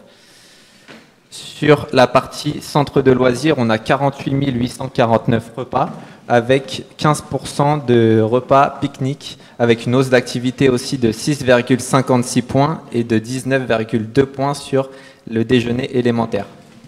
Seulement pour la partie chiffrée toujours, on est sur 597 112, je vais mettre là-bas, repas servis sur l'année 2022-2023 avec du coup euh, des repas maternels, élémentaires, adultes, en repas ALSH et scolaires. Alors rapidement, euh, ça c'est sur les régimes alimentaires qui nous ont été retournés par des fiches d'inscription. On avait en 2022-2023 euh, trois régimes, donc l'ovo-lacto-végétarien, le standard et la substitution sans porc. Et on avait 20% de, de- de fiches d'inscription en ovo-lacto-végétarien, 46 en standard et 36 en sans porc. Ensuite, on a la fréquentation du portage à domicile également avec 50 465 repas servis, avec 15%, euh, 15 points de supplémentaires versus euh, l'ancien prestataire, avec une journée de, consommation en moins et avec, euh, pareil pour le- les repas soirs, 4,08 points en plus. Donc la moyenne euh, sur le portage à domicile par mois est constante. Et euh, elle est assez constante, donc nous on a, une, on a une activité constante par rapport au restaurant administratif qu'on va faire suivre juste après, où là on a une activité plutôt en dents par rapport euh, au mois de juillet et août où on a des départs en vacances. On a 101 convives à peu près par, on a 101 convives par, par jour avec une moyenne de 1882 couverts par mois. Pour les prestations annexes facturées de la commune. Pardon. Pour les prestations annexes euh, de la commune, c'est les prestations qu'on facture directement via logiciel Chorus. Donc euh, là, on vous a mis un peu en détail euh, toutes les prestations goûter et pique-nique qu'on facture en direct. Ensuite, on a aussi fait une prestation de devis demandée aussi par la commune de goûter de Noël, avec 6739 goûters de Noël qui ont été, qui ont été livrés sur les, sur les écoles. Donc là, c'est les flux en direct avec, euh, avec le, restaurant administratif, avec un chiffre d'affaires et euh, le détail des consommateurs et le mode d'approvisionnement. Ici, on a le prix de vente euh, par prestation hors taxe et TTC que vous pourrez consulter. Pareil que, pareil que pour le scolaire, le côté portage à domicile. Et ensuite, vous avez la compensation scolaire. Donc la compensation scolaire, c'est ce qu'on compense en fin d'année.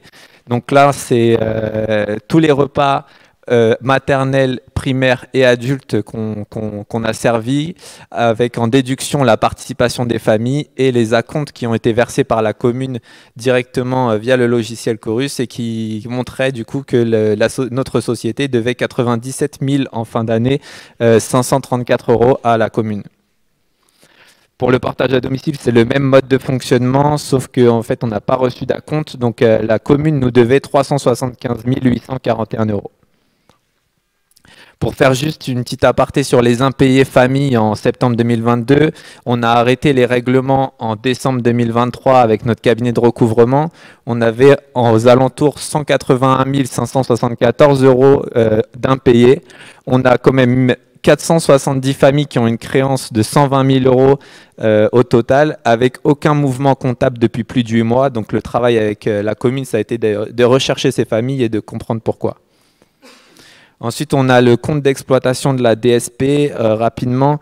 Donc, on a le chiffre d'affaires qui, recense l'ensemble de nos activités avec la matière première où on a subi euh, une inflation euh, due aux hausses de coûts de matières premières. On a aussi la MO qui a pris la main d'œuvre pardon qui a augmenté aussi euh, dû à, du, à la hausse du SMIC et au fait que vu la hausse d'activité qu'on a eu sur les écoles, on a dû mettre du personnel en plus. Donc ça aussi. Et après on a aussi les impayés qui nous ont un peu plombé. Mais après on a l'indemnité de la commune et l'imprévision qui grâce à la commune nous a un peu aidé sur, sur ce résultat négatif qui nous ont aidé à hauteur de 343 408 euros et de 41 455 sur le portage à domicile. Donc je vais faire rapidement sur la qualité de notre service. Alors on se rejoint avec le cabinet AMO qui a été, euh, qui a été embauché par la ville pour euh, s'assurer qu'on fasse bien le contrat. On se rencontre euh, deux fois par mois avec des diététiciennes pour élaborer les menus des enfants. Donc je vous ai mis en perspective les dates de rencontre. Ensuite, on a fait des plans de prévention aussi pour la sécurité des agents de restauration. Donc, on a rencontré euh, chaque euh, agent de restauration avant de prendre le contrat pour établir et s'assurer qu'il n'y ait aucun travailleur isolé. On, fait, on des audits euh, de qualité aussi sur nos offices. Donc, on, s'assure qu'en termes d'hygiène et de mesures de plan de maîtrise sanitaire, on soit bien aux normes et on fait exactement pareil, mais sur la qualité du service, on s'assure que le convive, donc l'enfant, soit bien accueilli dans de bonnes conditions. On fait grâce à aussi également euh, BVA. Donc c'est des enquêtes avec euh, le Bureau Veritas où on a fait quatre enquêtes sur quatre euh, écoles, donc Malraux, Tillon, La Nacelle et Baudelaire, où on a eu des taux de satisfaction très importants, surtout sur Malraux et sur La Nacelle où on dépasse les 90%. On fait également via euh, les tablettes qui sont disponibles sur les écoles et les animateurs. Ils peuvent saisir directement euh, une observation de l'assiette de l'enfant en répondant via l'observatoire du goût quatre euh, légendes, donc très bien consommé, plutôt et plutôt pas, et plutôt tout consommé ou plutôt pas du tout consommé. Et en fait là, ça nous permet d'avoir un indicateur pour pouvoir faire les menus sur les prochains cycles des menus. Donc ça, ça nous aide énormément par rapport à ça. On a fait la même chose sur le restaurant municipal. On a fait la même chose également sur le portage à domicile où on a eu des taux de satisfaction importants comme 81,26 sur le restaurant municipal et sur le portage à domicile 86,67%. On a aussi répondu à une demande de la ville de rapprocher notre cuisine centrale qui était basée sur Épône et on, euh, a repris l'activité du portage à domicile de Corbeil sur la cuisine centrale du coup de Corbeil-Essonne.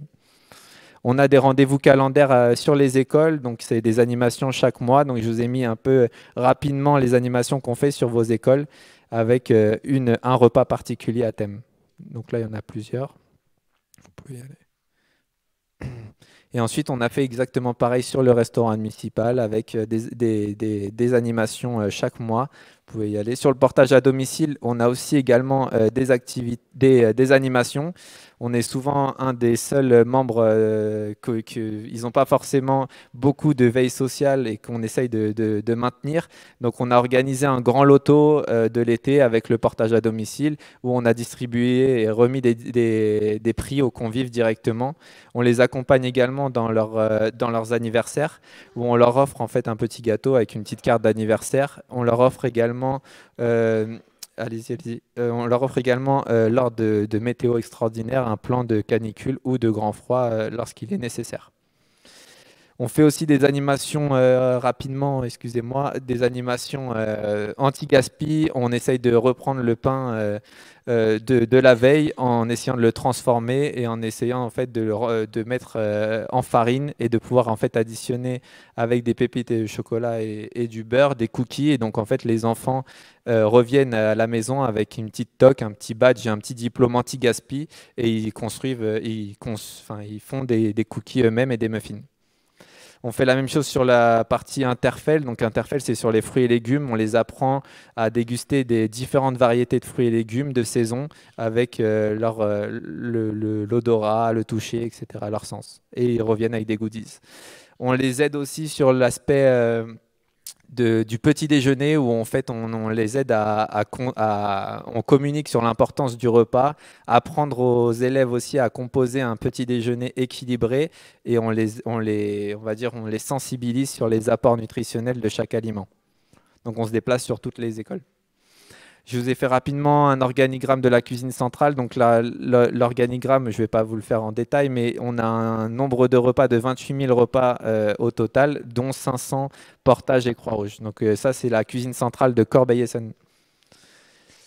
Sur euh, l'engagement de nos équipes et l'organigramme de l'équipe de la DSP seulement de Corbeil-Essonnes, là, du coup, c'est le, je suis directeur service client et on a trois pôles. On a l'encaissement, le portage à domicile et le RIA. Euh, Ensuite, on a du coup l'organigramme des, agents par école. Et ensuite, j'ai mis euh, l'organigramme euh, de, toute la DSP. Donc, on est 76 personnes avec 10 euh, agents détachés mairie. Donc voilà, j'ai mis aussi également la logistique qui appartient à, la DSP de Corbeil avec trois chauffeurs scolaires et deux ALSH pour les centres de loisirs.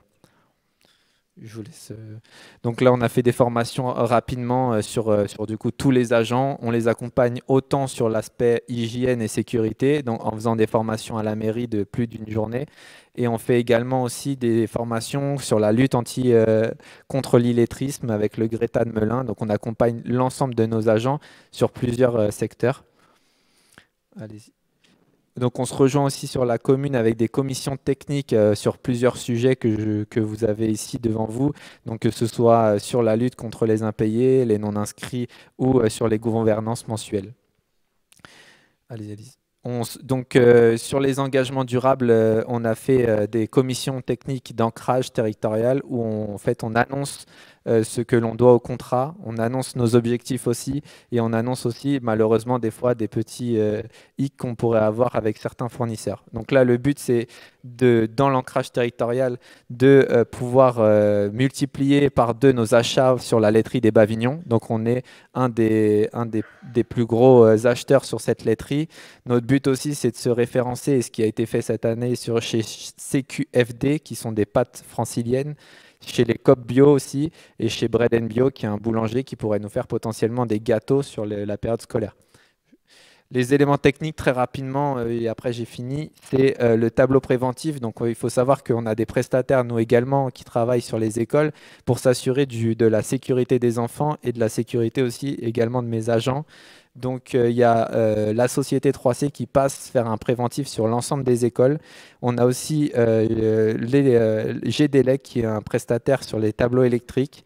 Et on a aussi du coup euh, fait euh, plus de 152 interventions sur tous les prestataires que nous avons. Et donc on peut mettre en, avant du coup les écoles qui sont potentiellement vieillissantes aussi, où on a dû intervenir de plusieurs fois dans l'année. Sur le suivi des enveloppes, donc on a un suivi des enveloppes de maintenance, on a aussi un suivi des enveloppes euh, de renouvellement et chaque montant qui n'aurait pas été utilisé au contrat sont reconductibles sur l'année d'après. Donc on a, pas, on a fait pas mal de renouvellements sur, euh, sur, euh, sur euh, cette année.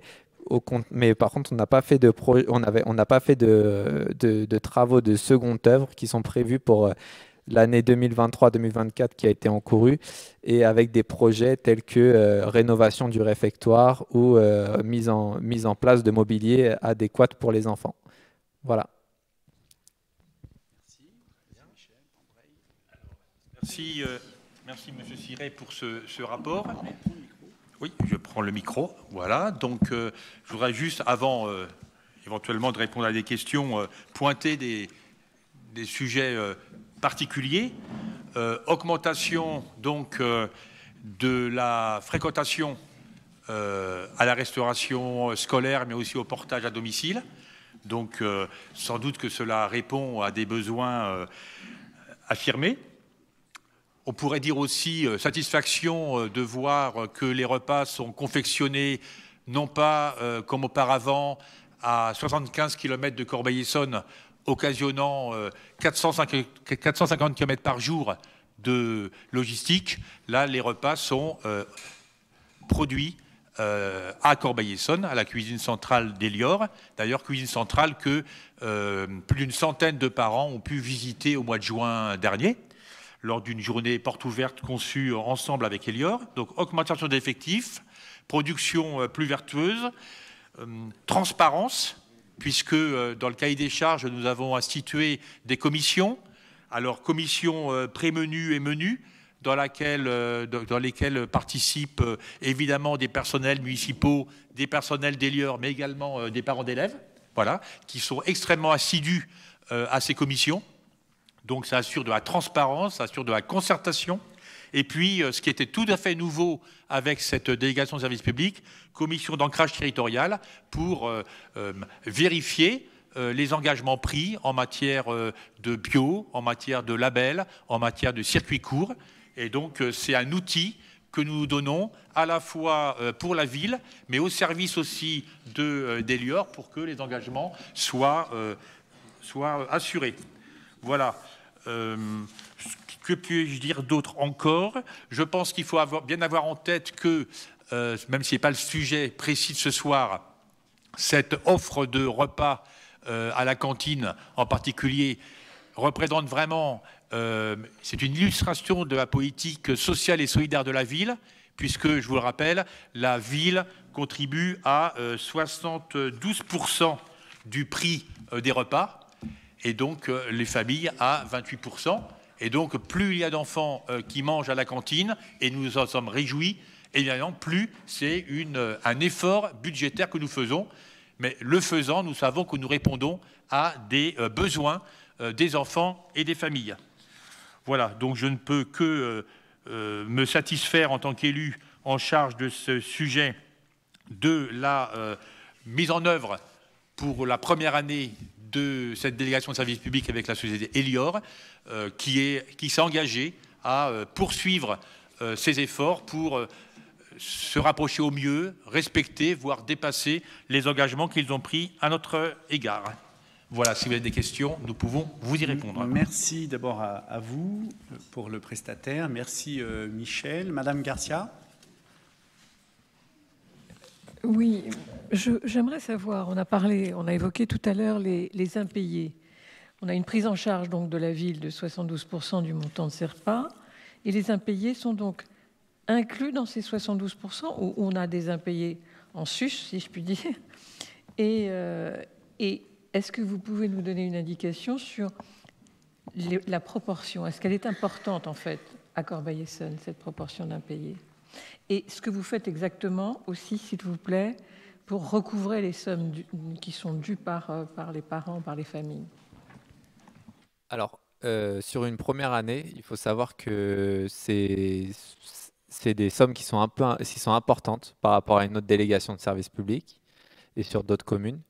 Après, qu'est-ce qu'on fait pour euh, essayer de, recouvrir justement ces familles? On a, comme je vous l'ai euh, annoncé, il y a un abonnement auprès du cabinet euh, Belin qui est un cabinet de recouvrement. Donc on a un cabinet de recouvrement dédié au recouvrement des familles.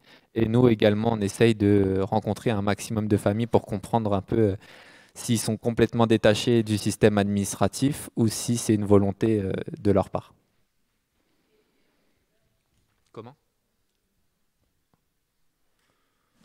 Et le résultat de ces démarches? Vous avez, un, cabinet, de recouvrement, très bien. Bon, et, le résultat? Le résultat, en fait, il ne pourra pas être euh, annoncé. Euh, aujourd'hui, on est sur le, le, rapport de l'année dernière, donc de l'année 2022-2023, et les résultats se sont faits cette année. Cette année, on a réussi à recouvrir, dans les, il y avait 400 familles, on a réussi à, rentrer en contact et recouvrir euh, pratiquement 20 à 35% des, des, impayés que nous avions. Donc on a réussi à rentrer en contact en tout cas avec les familles. Non, mais c'est très bien de prendre contact, euh, prendre date avec les familles, mais c'est aussi le résultat ensuite qui est important, puisqu'il ne faut pas que ce soit la charge ensuite de, de l'ensemble des contribuables corbeil-essonnois. Enfin, je veux dire, voilà. c'est ça aussi.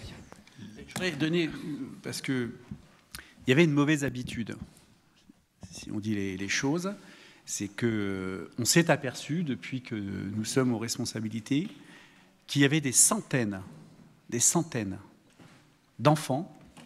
C'est même pas il y avait des impayés qui n'étaient pas inscrits et qui mangeaient tous les jours. Défaut euh, d'exigence euh, du passé, près de 800.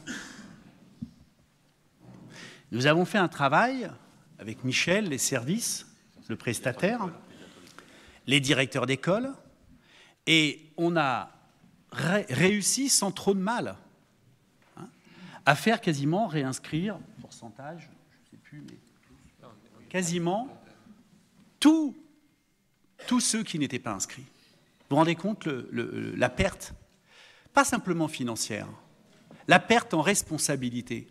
C'est-à-dire que votre enfant mange à la cantine, il faut l'inscrire. Quand on a fait ce travail, tout ce qu'on fait depuis que nous sommes arrivés, de, reprendre tout, d'essayer de remettre de l'ordre, 800, je le dis, euh, je ne l'invente pas puisque le prestataire est là, il opine du chef, et on a fait un travail, et pour le coup, je ne dis pas que c'est toujours aussi simple, il suffisait de responsabiliser, demander, de faire se rapprocher euh, euh, à la fois nos services, les directions d'école, les enseignants, les personnels, nos personnels, avec les familles, et on a quasiment retrouvé 100% euh, des gamins. Ça peut paraître évident, bah, vous voyez, ça ne l'était pas, Madame Garcia. Hein? Euh, et donc voilà, donc on a un progrès là-dessus. Sur, euh, par contre, oui, les impayés, bah, il y a un travail qui, qui, doit être fait. Vas-y, Michel, tu peux. Par rapport aux impayés, Mme Garcia, je parle sous le contrôle de M. Siré. La, la société, mais c'est le cas également du précédent délégataire, provisionne une somme pour justement faire face aux impayés. Voilà, donc à charge pour nous et pour Elior qu'il y ait le moins d'impayés possible pour que cela pèse le moins lourd possible. Voilà. Oui, alors effectivement, euh, il y a une provision au contrat sur impayé. Au-delà de cette euh, provision, c'est à la charge du délégataire et pas à la charge des contribuables. Donc c'est de toute façon à la charge de Elior si jamais on dépasse cette provision. La provision euh, de l'année 2022-2023 était de 120 000 euros. Et comme on a bien vu, on est aux alentours de 158 avec abonnement. Donc l'abonnement, il n'est pas forcément pris en charge dans la provision, mais en tout cas, on est au-dessus et c'est à la charge du délégataire et pas, pas, pas à la commune en tout cas.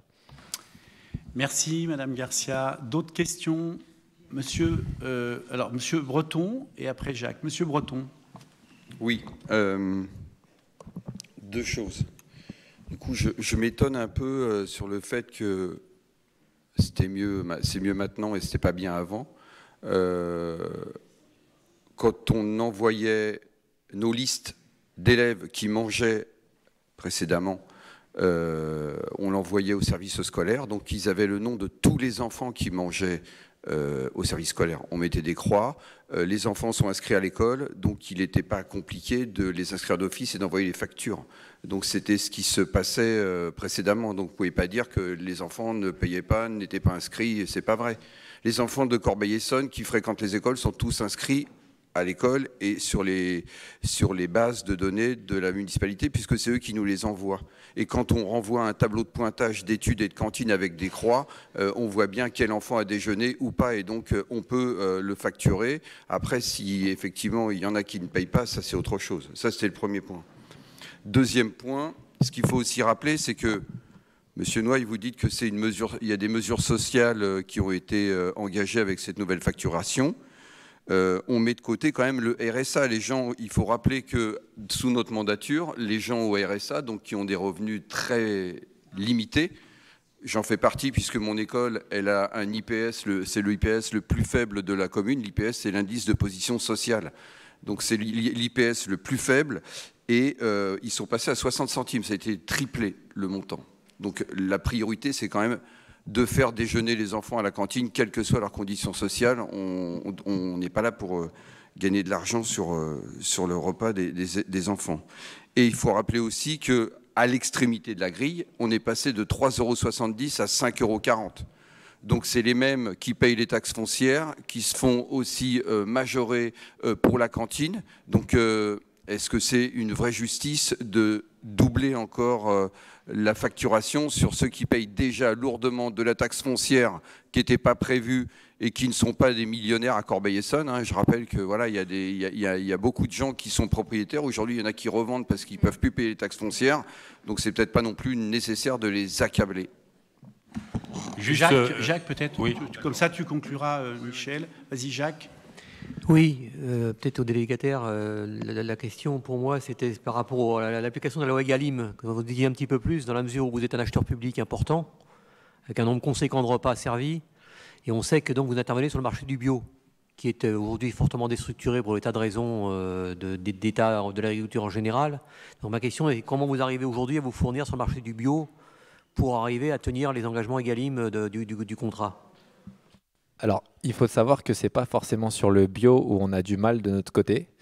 Euh, on est à normalement, on devait à la commune 30% de bio à l'heure actuelle. Enfin, ce qui a été présenté, on est à 33%, donc on est déjà au-dessus. Euh, notre vraie difficulté, c'est sur le circuit court et sur le local, surtout sur la viande francilienne, où on a beaucoup, beaucoup moins d'acteurs qui sont présents. Et ils nous, au final, euh, pour être transparent, ils, veulent nous vendre directement la bête entière et on n'a rien pour, euh, pour au final euh, la découper, etc. sur cuisine centrale. Donc notre vrai problème, c'est sur la viande.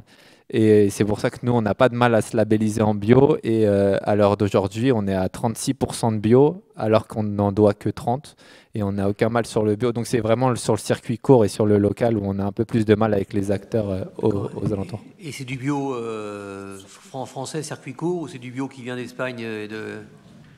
Ça, et après, il faut, ça dépend de la traçabilité, mais le bio, euh, ça reste du bio. De toute façon, c'est labellisé bio, c'est pas nous qui faisons les labels. Michel, peut-être pour oui, conclure. Deux points simplement. Hein, donc, Ah, attends, oui, Madame, Madame... vous voulez intervenir? Allez-y. Merci pour cette euh, présentation. Dans la continuité de l'intervention d'Éric euh, Breton, mon collègue, je voulais juste euh, vous dire qu'on a été saisi par pas mal d'habitants qui aimeraient pouvoir avoir plus d'informations sur les, inscriptions suite à l'évolution du calcul du quotient familial et qui se retrouvent en fait embêtés à ne pas pouvoir être inscrits. Est-ce qu'il est possible d'améliorer cette communication vis à -vis des habitants et première, première question. Et la seconde, je vais rebondir sur l'intervention de mon collègue Jacques Picard et concernant l'amélioration justement de votre filière, puisque vous avez, de ce que j'ai compris, une problématique sur le circuit court de la viande. Est-ce que vous avez prévu justement eh bien, de pallier à cette difficulté en vous installant, en vous installant par exemple à proximité de Corbeil-Essonne Merci.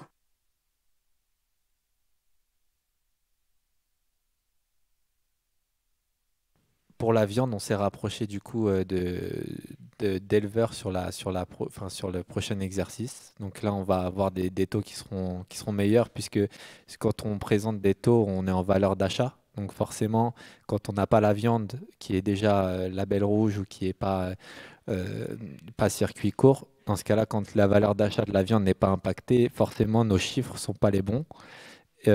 au marché, on s'était normalement mis avec la ferme de Viltin et qui devaient nous, fournir de la viande qui, forcément, dû aux crises économiques euh, qu'ils ont subies, nous ont n'ont pas respecté les tarifs qui étaient au préalable vendus, donc on n'a pas pu se référencer chez eux. Et là, on est en train de, de regarder pour avoir des acteurs locaux de plus en plus et c'est pour ça qu'on augmente notre circuit court en multipliant aussi par deux nos achats euh, aux euh, producteurs de la laiterie des Bavignons, aux euh, producteurs aussi également de CQP des pâtes franciliennes. On essaye de d'avoir un maximum d'acteurs aux, alentours de Paris pour répondre au cahier des charges. Merci, Monsieur Thierry. Donc peut-être trois points pour conclure. Euh, premièrement, l'intervention d'Éric Breton porte sur une, les effets d'une délibération qui a été prise au mois de mai ou juin 2024. Ce n'est pas le sujet d'aujourd'hui. Le sujet d'aujourd'hui, c'est le rapport d'activité d'Elior sur 2022-2023. Donc nous aurons l'occasion de faire le bilan de, des effets de la nouvelle politique tarifaire votée en conseil municipal au printemps, première chose. Deuxième chose, euh, sur euh, nos ambitions. Euh, je crois qu'il y a un point emblématique, c'est évidemment la fourniture des laitages, en particulier des yaourts, à la laiterie des Bavignon, puisque il y a là une entreprise, la dernière laiterie familiale sur le territoire de Corbeil. Eh bien, nous avons imposé, nous avons demandé lors de la négociation avec Elior que Elior se fournisse en euh, yaourt euh, auprès de la laiterie d'Avignon. C'est un succès total. Qualité des produits, les enfants, les adultes en raffolent. Maintenant, achat public, deux jours par semaine. Et puis, je me rappelle d'une euh, visite du président du conseil départemental de l'époque à la laiterie d'Avignon, il y a à peu près deux ans, qui découvre la qualité euh, des produits et qui téléphone immédiatement au service, à ses services pour euh, demander que le conseil départemental euh, se fournisse également. Et la laiterie a vu son chiffre d'affaires se développer, en particulier, on peut le dire, grâce à la mesure que nous avons prise ensemble, la ville, par l'exigence que nous portons et Elior par la, mise en œuvre. Voilà. Et puis le dernier point que sur lequel je veux souligner, dont nous sommes vraiment très fiers, même si ça peut nous poser des problèmes, ça a forcément des conséquences budgétaires, ça a aussi des problèmes en termes d'encadrement, et tout le monde sait que l'encadrement de la pause méridienne dans toutes les villes est un sujet délicat, mais nous, nous nous réjouissons qu'il y ait aujourd'hui 500 élèves de plus qui mangent quotidiennement dans la cantine scolaire. Voilà, donc c'est l'illustration, je pense, que cette délibération, que cette délégation de service public répond aux besoins de la population et des enfants. Merci. Donc on prend acte, on ne vote pas. Est-ce qu'il y a d'autres questions? Non. Écoutez, euh, j'ai envie qu'on félicite euh, Michel Noailles, tous les services qui, euh, qui œuvrent là-dessus, parce que c'est un succès. Nous avions écrit dans notre programme électoral que nous voulions faire de la restauration scolaire une priorité. Euh, on avait dit qu'on voulait aller vers la régie. Évidemment, euh, euh, dans le temps imparti en quatre ans, nous n'y sommes pas.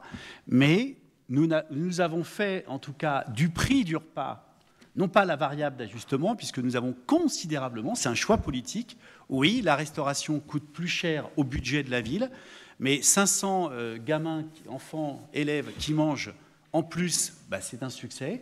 On me dit même que de nombreux enseignants qui ne mangeaient pas avant à la cantine, maintenant mangent euh, à la cantine. Et donc voilà encore, je crois, un progrès d'un choix politique. Et, euh, j'espère qu'avec euh, vous, Elior, nous allons multiplier les coopérations. L'idée, c'est que comme la cuisine est à Corbeil-Essonne, et d'ailleurs, c'est une bonne nouvelle pour l'emploi, Elior souhaite s'agrandir là où elle est, donc euh, dans le quartier de la nacelle et de la papeterie. Et donc euh, nous vous accompagnons pour essayer de, euh, de, vous agrandir, de faire en sorte que les repas qui, qui, sont fabriqués ici mais confectionnés un peu ailleurs soient complètement faits sur Corbeil-Essonne.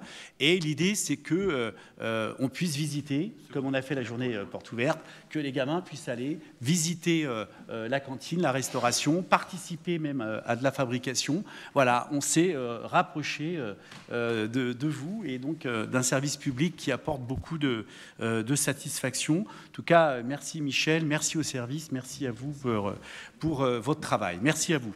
Je crois qu'on peut applaudir. Un succès sur la restauration. Avant de passer, parce que j'ai remercié tout à l'heure sur quand même une des grosses informations de la soirée, le fait, merci à vous, hein, on va vous rendre votre ordinateur, ne vous inquiétez pas, euh, que euh, notre contrat avec le département, j'ai remercié tous les élus, euh, allait être honoré. Et je voudrais remercier plus particulièrement, parce que des fois, euh, euh, c'est pas l'élection à laquelle euh, les gens se ruent le plus, mais je crois pouvoir dire que sans euh, Fadila Chourfi ici présente et sans Alexandre Maquestio, nos deux conseillers départementaux qui n'ont pas ménagé euh, leur peine pendant 10-12 jours, sans leur intervention auprès euh, de la présidence du département, nous n'aurions peut-être pas euh, eu cette victoire euh, ce soir. Et donc je vous propose qu'on applaudisse Fadila et Alexandre. Merci à vous. Alors, ensuite, euh, nous avons un point, euh, tous les points sont, importants, celui-là, euh, en tout cas, me, touche particulièrement comme il touche l'ensemble des élus de, la majorité. J'ai envie de nommer aussi Martine Soavi, qui ne pouvait pas être avec nous ce soir, mais je le dis aussi, Martine a joué un rôle important pour nous faire rencontrer cette belle association, euh, savoir et enseignement. Beaucoup sont présents ici euh, ce soir. Je vous euh, remercie. Voilà une belle rencontre donc il y a quatre ans, puisque le, point que nous allons délibérer ce soir, c'est la cession d'un terrain. Ça, c'est administratif. On va céder un terrain de parcelles cadastrées. Retenons que c'est dans le haut du boulevard Henri Dunant à Corbeil-Essonne, au profit d'une SCI, Hermitage, créée évidemment pour l'occasion. Le fond de ce dossier, c'est que euh, nous avons été sollicités donc euh, il y a quatre ans par euh, cette belle association Savoir Enseignement qui occupait sans convention, on a découvert ça ensemble, des terrains municipaux, notamment des préfabriqués, pour pratiquer leur, leur culte. Et donc on s'est rencontrés, on a échangé, et nous euh, euh, avons euh, créé les conditions, d'abord, de légaliser, puisqu'il faut légaliser, quand on occupe des biens publics, il faut une convention, il faut l'acter. Nous avons régularisé votre occupation de ce domaine public. Et nous avons d'ailleurs, depuis quatre ans, ce qui montre toute la portée de cette valeur exceptionnelle en France, la laïcité. Nous avons créé avec euh, nos amis de confession musulmane euh, sur ce quartier de l'Ermitage, mais ce n'est pas que le quartier évidemment de l'Ermitage, mais c'est dans le quartier de l'Ermitage, nous avons créé une relation citoyenne remarquable. Je tiens à le dire, Euh, vous êtes devenu, euh, à mes yeux, l'une des plus belles associations de notre ville, tant vous, à la fois, pratiquez votre religion, et dans le même temps, vous êtes des citoyens et des citoyennes à part entière euh, dans notre ville. Et euh, vous nous avez fait part de votre projet de pouvoir pratiquer votre religion dans des conditions plus dignes euh, que les préfabriqués que vous occupiez auparavant. Vous avez travaillé, vous avez fait un projet, vous avez réalisé un projet de construction à la fois d'une mosquée et à la fois d'un centre culturel. Nous avons appris euh, à travailler ensemble pour respecter la loi, cette belle loi euh, du 1905 euh, qui régule les relations entre l'État et ceux qui croient et qui pratiquent une, religion. Et donc, vous avez créé une deuxième association, l'association qui vit toujours savoir et en- enseignement, et une association à but culturel, celle-là uniquement, Nour El Farge. Et donc, euh, avec ces deux associations, vous avez euh, construit un projet euh, pour construire un nouvel équipement, je le dis, à la fois culturel et cultuel, au 75 boulevard Henri Dunant, tout près du 10 de la caserne des pompiers. Et vous, on a eu la chance que vous veniez nous présenter euh, ce euh, formidable bâtiment qui va sortir de terre, qui deviendra euh, l'un des plus beaux bâtiments de Corbeil-Essonne. À la fois un bâtiment, et vous l'avez conçu, ouvert envers la population, puisque la façade sera la partie culturelle. Vous voulez accueillir ceux qui croient et ceux qui ne croient pas. Et à l'arrière, une très belle salle pour prier, pour pratiquer votre religion. Je crois parler au nom euh, de l'ensemble des élus de la majorité municipale. Nous avons été tous euh, euh, séduits par la qualité architecturale. Nous avons rencontré votre architecte, un architecte de, grand talent, et vous nous avez présenté un projet qui qui fera partie du patrimoine, comme Hélène l'a souligné lors de cette soirée, du, très beau patrimoine de la ville de, Corbeil-Essonne.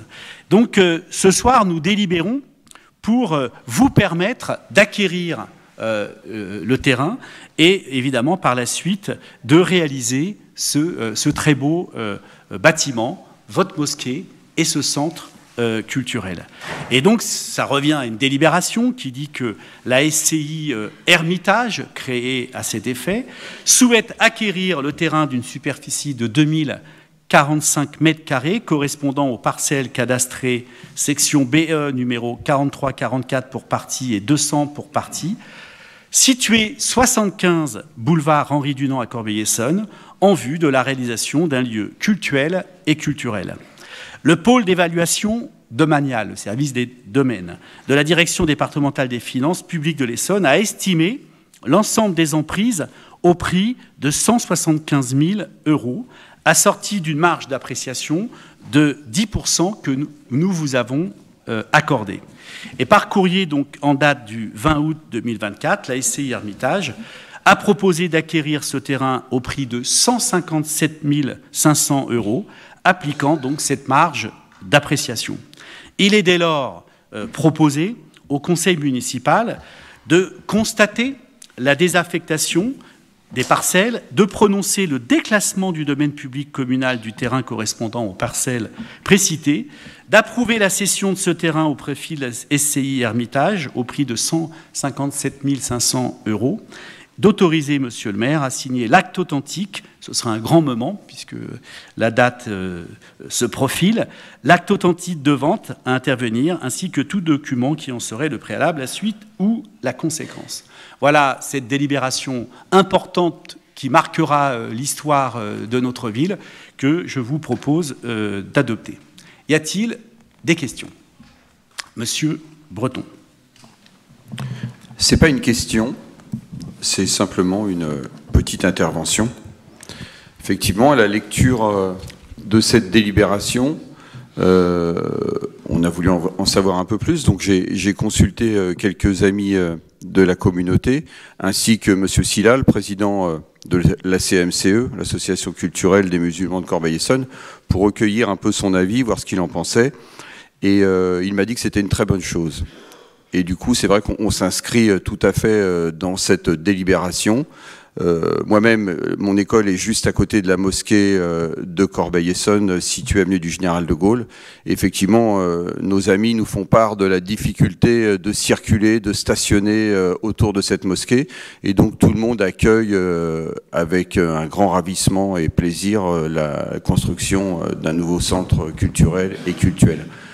J'ai aussi une pensée pour M. Dassault, puisque c'est lui qui a construit euh, avec ses deniers cette première mosquée, euh, que beaucoup de, de fidèles euh, reconnaissent encore, malgré tout ce qui peut être dit dans cette majorité contre lui. Donc on votera bien sûr cette délibération avec un grand plaisir. Merci. Jacques Picard. Jacques Picard.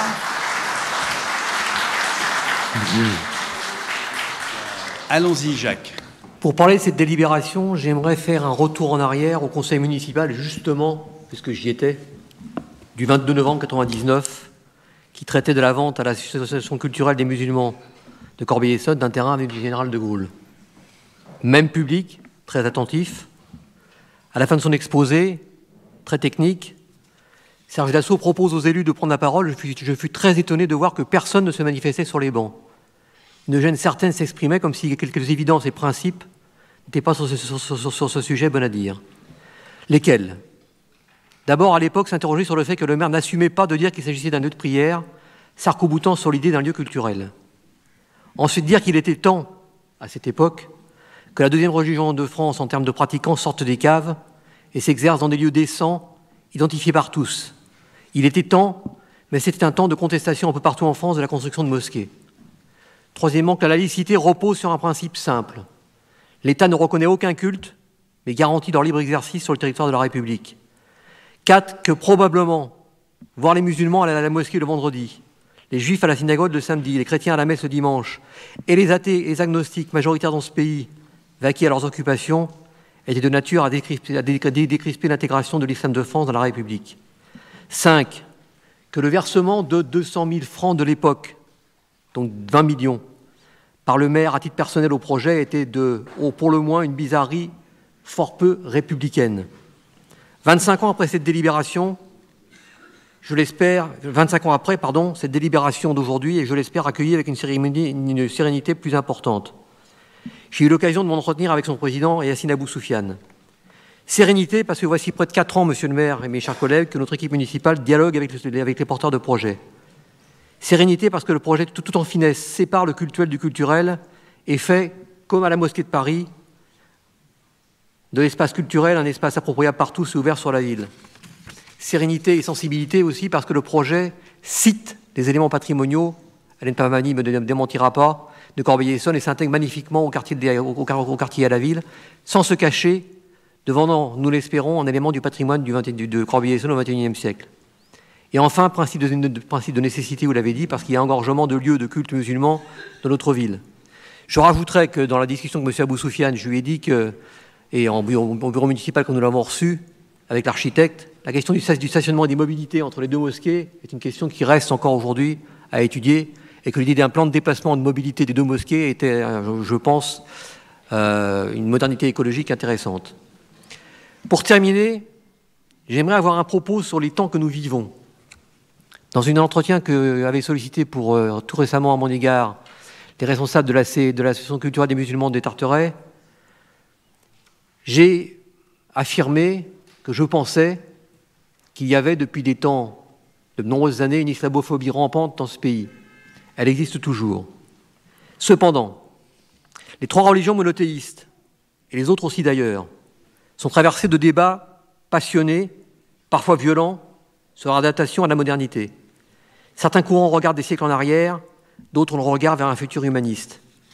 Il ne nous appartient pas de trancher ces débats en tant que collectivité, mais notre position en tant qu'institution municipale est de rappeler qu'en République, nous sommes tous et toutes à l'origine de la loi depuis la Révolution française Rappelez que si les religions et les représentants des courants spirituels peuvent, et ils le font, participer au débat public sur les grandes questions éthiques, la loi commune à tous les niveaux est élaborée par les représentants du peuple élus au suffrage universel. Mais aussi, en tant que citoyens, nous pouvons nous aussi participer au débat, confère ce qu'il a une magnifique exposition à la conférence qui a eu lieu à la MJC il y a une semaine, et donc regarder justement vers le futur. C'est pourquoi je terminerai mon propos par un hommage à Martha Amimi, qui en Iran, il y a un an, est assassinée par la police des mœurs pour avoir osé affirmer son libre choix. Femme, vie, liberté, ces trois mots font partie du débat que nous avons avec toutes les religions, au final. Longue vie donc au projet républicain du Centre culturel et cultuel de mon conseil et l'Ermitage. Merci Jacques, bravo.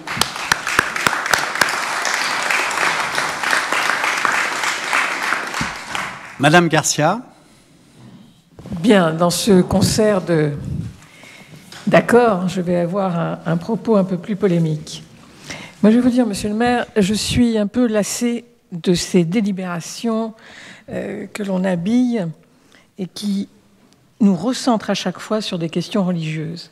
Alors, je fais partie de ces, Français qui pensent qu'on a le droit d'exercer euh, son culte et que chacun a le droit de l'exercer dans les meilleures conditions possibles. C'est-à-dire que il faut que chaque croyant puisse avoir en effet un local où se retrouver et bon, pouvoir euh, se recueillir. Maintenant, on est ici dans un lieu laïque. Et de ramener ces problèmes religieux dans notre, euh, dans notre laïcité euh, municipale me dérange. Ça me dérange et je pense que à la limite, chaque culte maintenant doit pouvoir euh, chercher un terrain qui serait un terrain privé et laisser les, terrains qui sont des terrains communaux à, par exemple, des, bâtiments communaux parfaitement laïques et euh, qui ne soient pas utilisés pour une quelconque religion. Donc, je vais m'abstenir sur cette délibération. Je suis désolée, mesdames et messieurs, si mes propos peuvent éventuellement vous choquer. Mais je pense que de toute façon, l'estimation est est, l'estimation la plus basse, et que le terrain qui est là aurait pu être utilisé pour un bâtiment complètement laïque et qui n'aurait aucune interférence religieuse, quelle qu'elle soit. Quelle qu'elle soit. Donc, monsieur le maire, je, m'abstiens sur cette délibération. Merci. Écoutez, je vais conclure euh, euh, ce, débat. Euh, je retiens ce qu'a dit Jacques, parce que c'est vrai, merci de faire ce, retour en arrière, parce que j'étais présent à ce conseil municipal à l'époque. et c'est vraiment source de fraternité entre nous, en France, qu'on puisse, dans une assemblée institutionnelle, délibérer pour permettre à nos amis, en l'occurrence musulmans, d'exercer leur religion dans des conditions dignes, sans s'en cacher. On dit ce que nous faisons. Et je suis, mais je crois que c'est le cas de tous mes collègues ici présents, de la majorité, peut-être certains d'opposition, nous sommes fiers de, en ce jour, délibérer pour vous permettre euh, d'exercer, commence par ça, votre religion dans les meilleures conditions. Nous sommes fiers de participer, nous sommes fiers euh, de participer euh, à cela, parce que c'est cela, la France, avec cette lecture de la laïcité que nous avons, et je ne partage pas évidemment ce que vient de dire Frédéric Garcia, mais c'est aussi source de fraternité qu'on puisse l'entendre, qu'elle puisse le dire. Et je ne doute pas, Frédéric, que quand ce, monument, ce bâtiment magistral, et d'ailleurs je souhaite, chers collègues de l'association, que dans les meilleurs délais, la présentation dont nous avons pu bénéficier, vous en fassiez profiter tous les corbeillers sonnois. Ils seront enchantés. J'ai une conviction, Frédéric, c'est que, en tout cas, sur ce sujet, euh, votre regard évoluera. Votre regard évoluera. J'en suis convaincu. Parce que euh, c'est justement euh, en faisant ce que nous faisons qu'on contribue à ne, pas faire de la religion un problème. La religion n'est pas en soi un problème. Et en l'occurrence, et, et, en l'occurrence, et en, s'il vous plaît, s'il vous plaît, s'il vous plaît, on a un sujet, vous savez, là où, il y a de l'accord, madame, vous avez des raisons très personnelles d'être en colère, qui ne regardent pas la communauté de Corbeil-Essonne. Écoutez, les amis, les, amis de Samira Ketfi utilise tous les sujets pour Excusez-moi, monsieur le maire, excusez-moi. Et je crois que dans ce moment, excusez-moi. Voilà, je comprends. Je pense qu'on a été. S'il vous plaît, on est dans une instance respectueuse. S'il vous plaît, et eh bien justement. Je demandez, pense que demandez à vos je vous invite de à ne pas interpeller les gens comme vous le faites systématiquement. Eh Notre écoutez, groupe s'est exprimé. Vos amis viennent Notre de m'interpeller. exprimé. Je leur réponds. Mes amis vous, vous, ont dit vous, que non, vous avez vous fermé le gymnase on, en plein mois du Ramadan. C'est vrai. S'il vous plaît. Assumez-le, c'est pas grave. Ne Mais gâchons vous l'avez pas, fait expressément.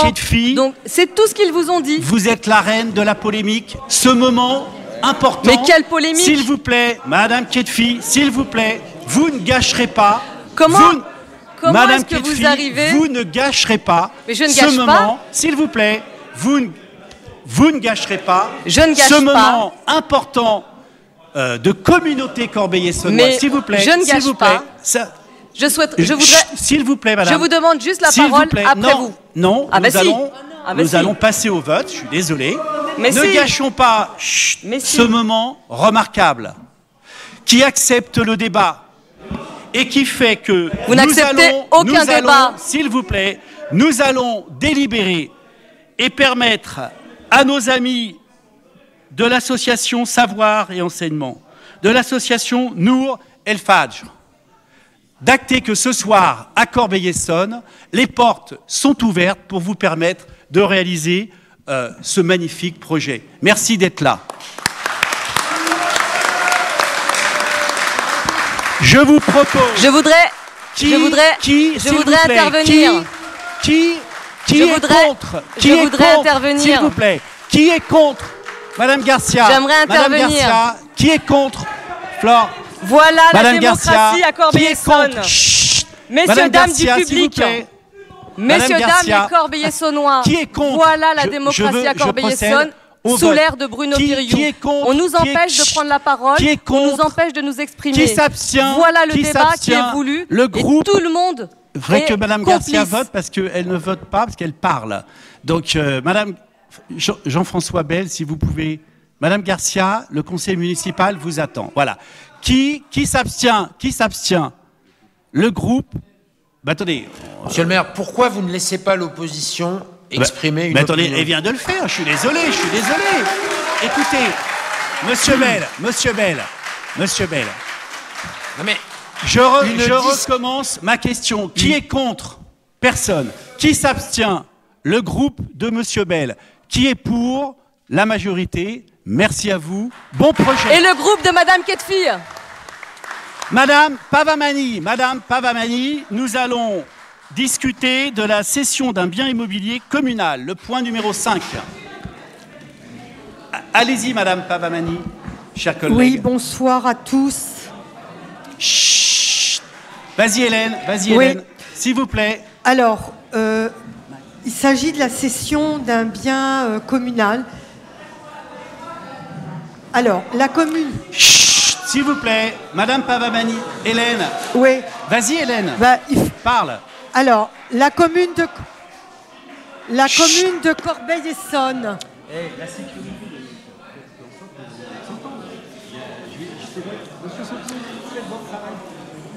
La commune de Corbeil-Essonne. Allô, allô. Non, non, non, non. Vas-y, Hélène. Alors, la commune de Corbeil-Essonne est propriétaire d'une maison qui a été aménagée en bureau Vas-y, Hélène. et qui fut occupée par différents services communaux. Et la commune souhaite vendre cette maison qui est située au 38 rue Champ-Louis Oui. par délibération du conseil municipal Vas-y, Hélène. en date du, du 6 mars 2024.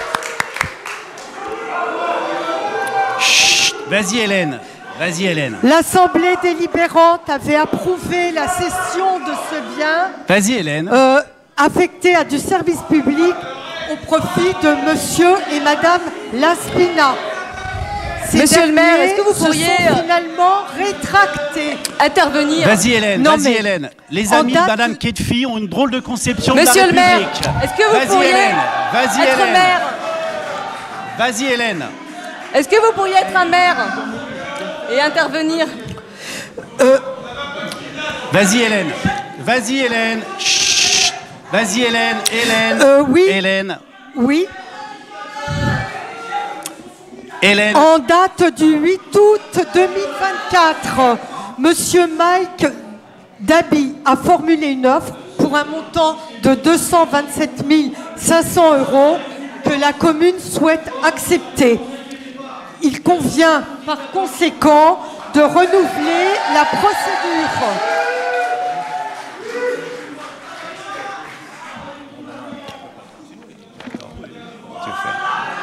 Laisse-moi faire. Vas-y, Hélène. Il convient donc par conséquent de renouveler la procédure en vue de la mise en signature d'une promesse de vente. Ça vous intéresse, Madame Ketfi? Oui, ce que je dis là Voilà. Oui. Vas-y, Hélène. Ça Pourquoi vous intéresse m'interpellez Vas-y, Hélène. Vas-y, Hélène. Bah, vous ai-je vous, dit vous tournez la tête de l'autre côté. Mais excusez-moi, je regarde Oui, ce qui oui, se passe. oui. Je Et pense elle que la regarde en majorité de l'opposition... matière de leçons de la ses majorité. troupes. vous vous posez vraiment Hélène. là. Non, Hein, mais- Vraiment. Donc je continue. Il faut vous calmer, Je Madame Pavamani. Ça va Madame bien se eh, passer Madame pour vous ce soir. Vous Madame inquiétez pas. Vous Je vous comportez continue. comme une voyou Ça va ce aller, soir. vous inquiétez pas. Vous vous comportez comme une voyou, Madame Ketfi. Donc ça suffit maintenant. Il est Hélène. dès lors. Ça suffit, vous avez raison. Il est dès lors proposé au conseil municipal d'abroger la délibération du 6 mars 2024, de constater la désaffectation et de prononcer le déclassement du domaine public du bien communal, d'approuver la cession au profit de M. Mike Dabi sous réserve de l'accord du prêt bancaire pour l'acquisition de ce bien qui sera destiné à être une habitation, d'autoriser Monsieur le maire à signer l'acte authentique de cession ainsi que tout document qui en serait le préalable, la suite ou la conséquence. Les commissions municipales, finances, affaires générales et aménagement, urbanisme, travaux et développement durable ont chacune émis un avis favorable à ce point. Je vous remercie. Qui est contre? Ah, une question. Monsieur Bell. On a le droit de poser Bell. des questions. Chut, Monsieur Bell. Chère Madame Pavamani, je, je vous écoutais, j'essayais de vous écouter et je ne vous entendais pas. Oui. Et, et en fait, dans ce brouhaha, je me disais, mais nous sommes revenus au bon vieux temps où Monsieur Piriou était dans l'opposition. Nous sommes revenus au temps où Monsieur Piriou animait l'opposition de cette ville. Eh bien non, je me suis réveillé. Bref, je constate, je constate, monsieur, je constate, monsieur Piriou, que vous n'êtes pas capable de faire respecter la police dans cette salle. La preuve, on vous entend. C'est, ce, ce devrait être votre tâche prioritaire. Les afin, que les, Écoutez, afin, afin que les conseillers municipaux de l'opposition notamment, mais aussi ceux de la majorité, puissent être éclairés par le rapporteur de cette délibération. très bien. Bien, donc ce n'est pas le cas.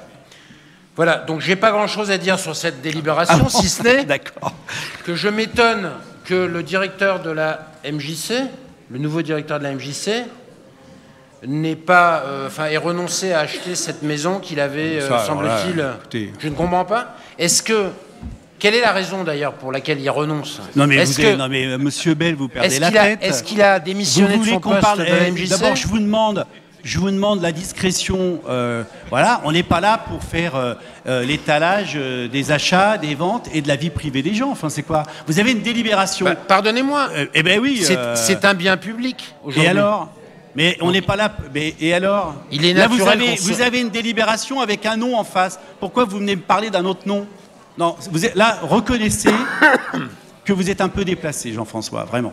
Vraiment. Donc, en plus, vous avez dit que vous n'aviez rien à dire sur la délibération, donc je peux considérer que vous avez fini. Merci. Qui veut parler J'ai fait respecter Madame la Ketfi. police. Voilà, merci. Madame Ketfi.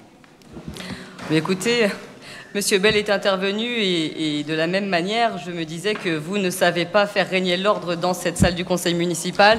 Et je comprends mieux l'état de notre ville. On découvre vos et la pratiques de sécurité voyous, dans les rues. Madame Ketfi. On découvre vos pratiques de voyous. assez- C'est assez inquiétant et les Corbeil-Essonnois doivent euh, s'en rendre compte. Ils parce qu'en fait, dans le public, nous n'avons que des habitants de la ville Bien de Corbeil-Essonne bien qui visiblement, en effet, ne vous soutiennent pas.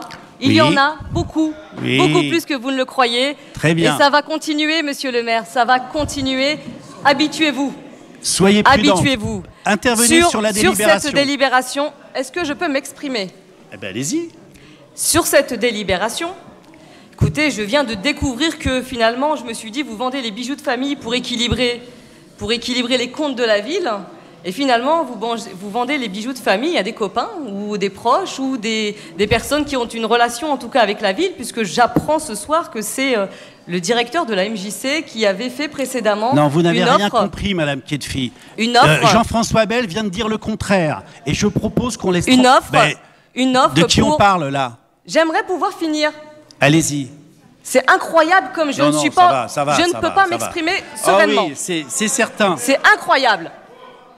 Je ne sais pas de quoi vous avez peur à chaque fois que je m'exprime, mais ça va bien se passer, je vous le redis. Pas de problème. Il vous reste 18 mois, ça va bien se passer. Oh. Alors, j'apprends que c'est un proche, en tout cas un de vos proches, une personne que vous connaissez bien, qui avait fait une première offre pour cette acquisition et qui visiblement n'a pas pu euh, euh, le faire puisque je crois que son prêt a été euh, repoussé, il n'a pas pu avoir l'octroi de son prêt. Et du coup, nous avons une deuxième personne qui vient se positionner sur ce bien qui était occupé précédemment par le service de la vie associative dans la rue Champ-Louis. Et la question que je me pose, c'est, puisqu'on est toujours sous la réserve de l'accord du prêt bancaire pour l'acquisition de ce bien, aujourd'hui, qu'est-ce qui nous donne la garantie que vous allez pouvoir vendre ce bien euh, pour pouvoir équilibrer les comptes de la ville que vous mettez en grande difficulté D'autres questions? Je propose qu'on passe au vote. Est-ce qu'on peut avoir une réponse? Non Il n'y a pas de question. Euh, il y a Une question? S'il vous plaît, Madame il y a un point d'interrogation à la fin. Je vous ai posé Euh, une question. J'aimerais une si- réponse. On aurait aimé, s'il vous plaît, on aurait aimé. Voilà. Les habitants Non, vous ne répondez à aucune question de l'opposition. Vos comportements de Mais voyous avec vos voir- amis voyous, mais ils vont ça le vous voir. regarde. Les corbeillers Les saunois questions n'auront vous- pas envie. Les corbeillers saunois, les voilà. S'il vous plaît, s'il vous plaît, Mais Madame vous les éléments qu'on vous présente. on vend, on vend un bien et on n'a pas à parler de celui qui aurait voulu acheter qui peut pas. On dévoile pas la vie privée des gens. Qui, est contre cette acquisition, cette vente? Qui est contre? Qui s'abstient? L'ensemble de l'opposition, le reste de la majorité est pour. Merci, nous faisons des heureux. Merci Hélène. Monsieur Gautreau, à vous. Approbation du cahier des charges de rétrocession des fonds de commerce. 4 places Saint-Léonard à Corbeil-Essonne. Par décision du maire en date du 19 octobre 2023, la commune a exercé son droit de préemption sur le projet de cession de fonds de commerce de l'établissement SASU Eden. 4 places Saint-Léonard à Corbeil-Essonne. S'il vous plaît, s'il vous plaît. S'il vous plaît, attendez. Monsieur Gautreau, je vous propose pour l'instant de continuer. Continuez, monsieur Gautreau. L'acte de cession a été signé le 23 Monsieur Gautreau, novembre suivant.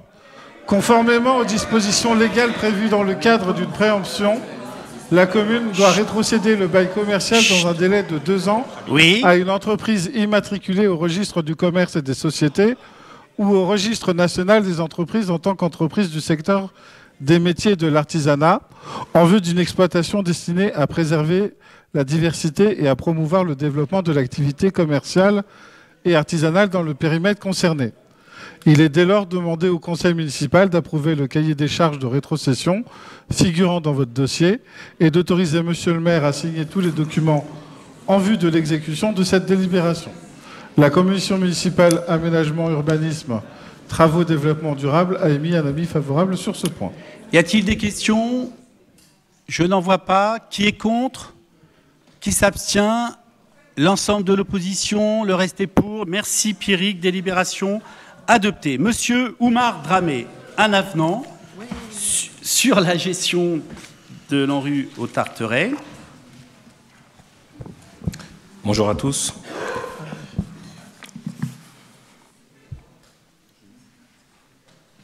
Ça fait du bien. Si, euh, si on pouvait euh, finir le conseil tout en se respectant les uns les autres. S'il vous plaît, si- s'il vous plaît. S'il vous plaît. Monsieur Dramé. si- S'il vous plaît, euh, s'il vous plaît, les, les concitoyens.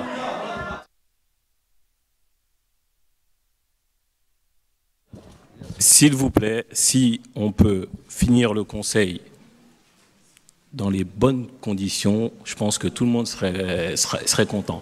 On peut avoir des désaccords, hein.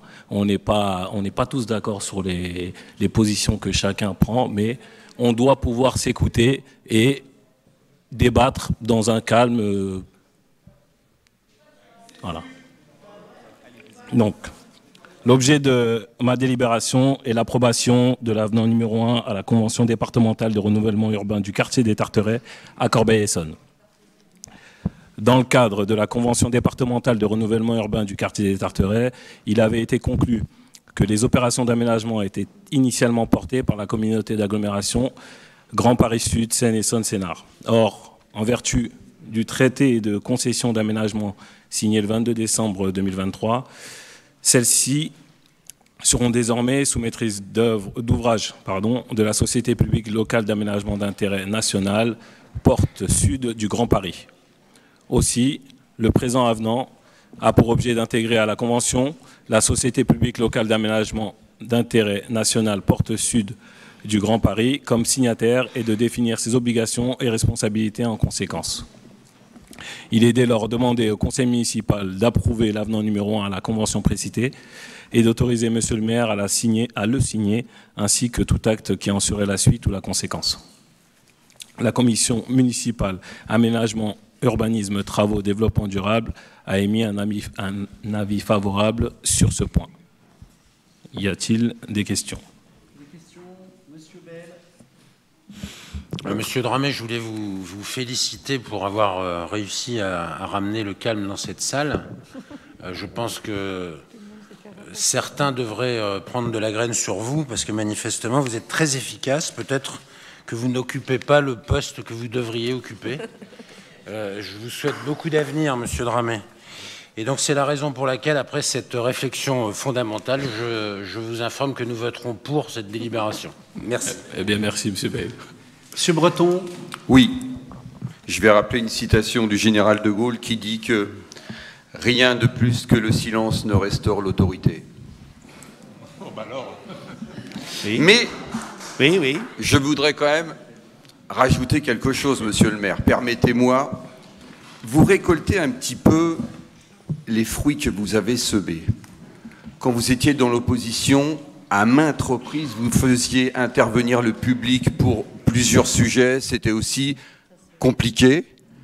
Euh, rappelons aussi que vous êtes le seul condamné quand même euh, autour de cette table. Le seul condamné, c'est vous. Bah oui, vous pouvez lever la tête et faire le monsieur surpris. C'est vous. Donc nous, on n'est pas condamnés, on n'est pas des voyous. On a quand même été traités euh, à maintes reprises d'un système mafieux. Ah bah Ah ça oui, ah, alors, c'est euh, il suffit de avez lire vu- euh, les Eh, décisions de est-ce justice. que vous avez vu nos Vous avez besoin des articles de presse Est-ce que vous avez vu Volcan pas, Samira. Ketfi, Sylvie Capron, Pascaline Eric. Personne, non. S'il vous plaît. Vous ne pouvez pas dire que nous sommes des voyous, des bandits. Alors que vous nous avez traités de la sorte. Donc ne vous étonnez pas que vous parfois plaît. vous récupériez la foudre. sur la, tout. sur la délibération, Eh bien, merci à Monsieur Eh Dramé ben pour voilà, sa très délibération. Et par contre, Oui. euh, l'extension des groupes scolaires, c'est les écoles bleues, c'est ça? Oui. Mais euh, de quelle manière vont-elles être étendues? Parce que pour le moment, vous savez bien qu'il y a un désenclavement du quartier et que nombre d'élèves nous quittent. Pour ma, pla- pour ma part, euh, je pourrais accueillir encore au moins deux, trois classes. Elles sont vides. Et quand est-ce que vous allez repeupler euh, nos écoles bleues? Ça arrive. Vous avez démoli 1000 logements, on va devoir les reconstruire, et donc vous inquiétez pas, les écoles vont être remplies, il faudra même les agrandir. Madame Ketfi, Merci, euh, Monsieur Dramé. Merci, Monsieur Dramé, d'avoir rappelé que la sérénité des débats, elle passe par le respect les uns et des autres. Et c'est ce respect qui manque dans cette instance, en effet, avec une personne qui est censée faire le devoir de police, qui l'a complètement occulté, qui l'oublie systématiquement. Donc merci de remplir ce rôle qui n'est aujourd'hui occupé par personne, et en tout cas pas par celui qui est censé le faire. Concernant, cette délibération, il est inscrit dans l'annexe euh, dans l'annexe 1, qui est la seule d'ailleurs, un montant prévisionnel de 4 800 000 euros qui est euh, mis en place sous forme d'échéancier à partir de 2025. Est-ce que vous pourriez nous dire euh, quelles écoles vont bénéficier de ces travaux, s'il vous plaît Du coup, c'est euh, la réponse que je viens de donner à Eric, c'est euh, les écoles bleues. Euh, Jacques Prévert et 80, pour les citer. une autre question? Tu passes au vote, s'il te plaît, Oumar? Donc, qui s'abstient? Qui est contre? Donc, tout le monde est pour. Merci. Je vous en remercie. Tu fais définitivement l'unanimité. Merci à toi. C'est Frédéric, je crois, qui rapporte euh, à la place de Martine. Tout à fait. Donc, il s'agit de l'approbation d'une convention entre la commune de Corbeil-Essonnes et la société Cercal Qualitel, certification pour l'obtention de la certification NF Habitat HQE des logements collectifs neufs. Donc, comme vous le savez, par délibération en date du 15 décembre 2021, le conseil municipal de Corbeil-Essonnes a adopté une charte qualitative pour un habitat durable visant à garantir la qualité de vie des habitants tout en respectant les spécificités de chaque quartier. En ce sens, la commune a la volonté, en complément de la charte logement, d'offrir aux habitants euh, des logements de qualité euh, technique, énergétique et environnementale sur son territoire, répondant aux enjeux du développement durable, de confort et de santé. Pour répondre à ces ambitions et s'est rapproché euh, pour les projets de construction des logements collectifs de Cercal Qualitel Certification, organisme certificateur du logement tiers et indépendant accrédité par le COFRAC, mandaté par AFNOR Certification pour délivrer la certification NF Habitat à minima, associée ou non à la marque HQE. Pour ce faire, il est nécessaire de signer une convention de partenariat euh, NF Habitat HQE entre la commune de Corbeil-Essonne et Cercal, Qualitel Certification, qui permettra à cet organisme certificateur de s'assurer de la prise en compte de la qualité environnementale dans la conception et la réalisation des bâtiments de logements neufs sur Corbeil-Essonne. Il est dès lors proposé au conseil municipal d'approuver la convention de partenariat précitée et d'autoriser monsieur le maire à la signer ainsi que tout acte qui en serait la suite ou la conséquence. La commission municipale aménagement, urbanisme, travaux, développement durable a émis un avis favorable sur ce point. Y aurait-il des questions? Je n'en vois pas. On passe au vote. Frédéric Je vous remercie. Qui s'abstient? Personne. Qui est contre? Ah, abstention de- du groupe de monsieur de François Bell. Pardonnez-moi, je voulais faire une remarque. Ah. Euh, en fait, euh, voilà, vous lancez donc cette, euh, cette- cette convention. Bon, ça, ça fait pas de mal à, à la ville, c'est clair. Mais euh, en fait, euh, vous allez, c'est un petit peu comme vous enfon- comme si vous enfonciez les portes ouvertes. C'est-à-dire que vous allez, euh, au travers de cette convention, imposer aux euh, promoteurs et aux aménageurs qui vont intervenir sur la ville de passer par l'organisme HQE que vous avez choisi. Bon, simplement, ces, euh, ces normes NF, HQE, elles sont obligatoires aujourd'hui. Elles sont obligatoires, soit parce qu'elles le sont de par la loi, de par le règlement de, la construction, de, de par le règlement d'urbanisme de la ville, et de par la décision qu'on prend euh, au moment des permis de construire, de la signature des permis de construire, et vous avez la main sur ce sujet, effectivement. Mais, bon, comme vous souhaitez faire un affichage politique, une fois de plus, puisque c'est ça le problème, faire de l'affichage politique, tirer, voilà, quand on dit, voilà, on peut dire, on peut dire faire de l'affichage politique pour parler sérieusement, euh, politique, mais si on était, euh, si on était à la maison, on dirait tirer la couverture à soi.